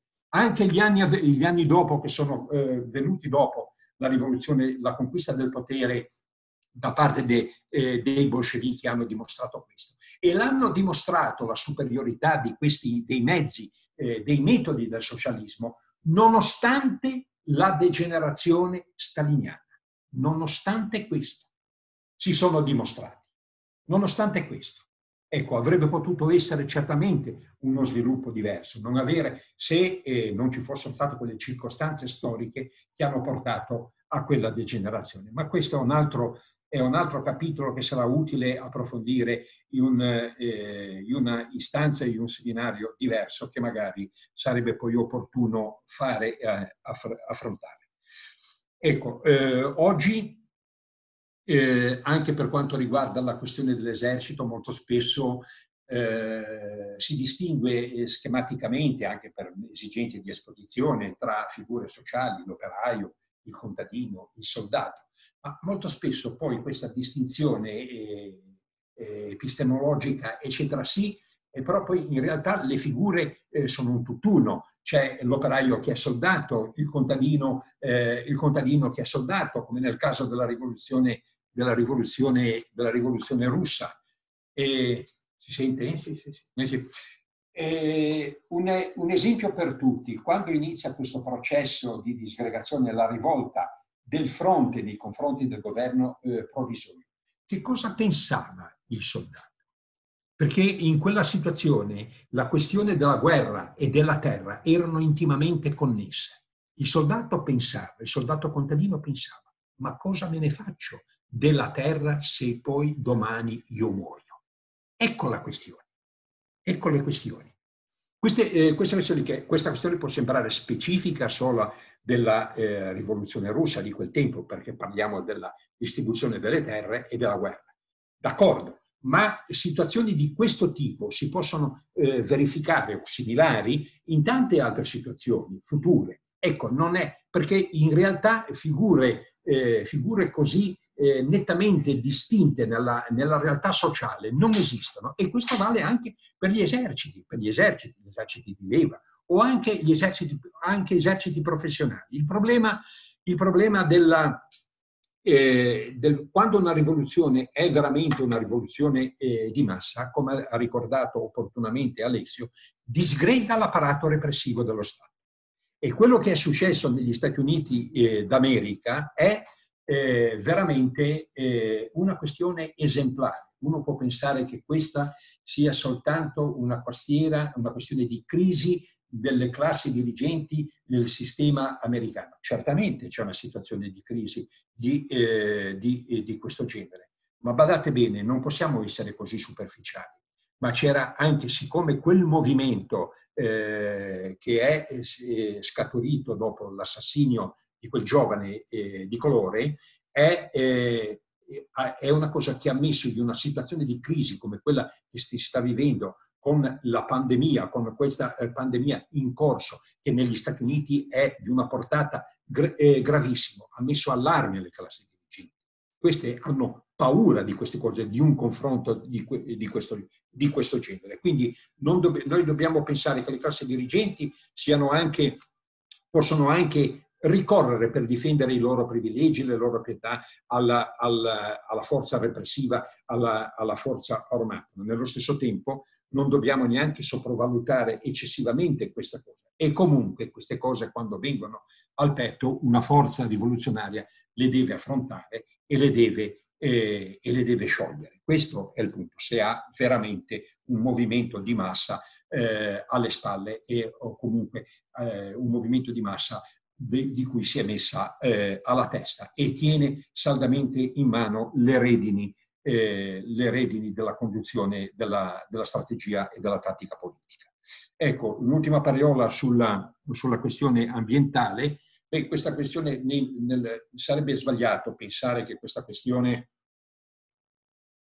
nel marxismo non sia mai esistita perché eh, ricordo che anche, questo non certo nelle proporzioni di oggi, questo è del tutto evidente, evidente ma questa questione nel, nei limiti, diciamo, nelle condizioni dell'epoca, era presente anche in Marx, quando eh, parlava eh, della questione delle acque, dell'inquinamento industriale, eccetera. Quindi questa è eh, una questione che è eh, pensiero, proprio perché il pensiero marxista è un, è un, pensiero universalistico, che non si limita soltanto alla sfera eh, nuda e cruda dell'economia, ma va a guardare oltre in tutti i suoi variegati aspetti. E con questo eh, ho concluso e vi ringrazio per l'attenzione.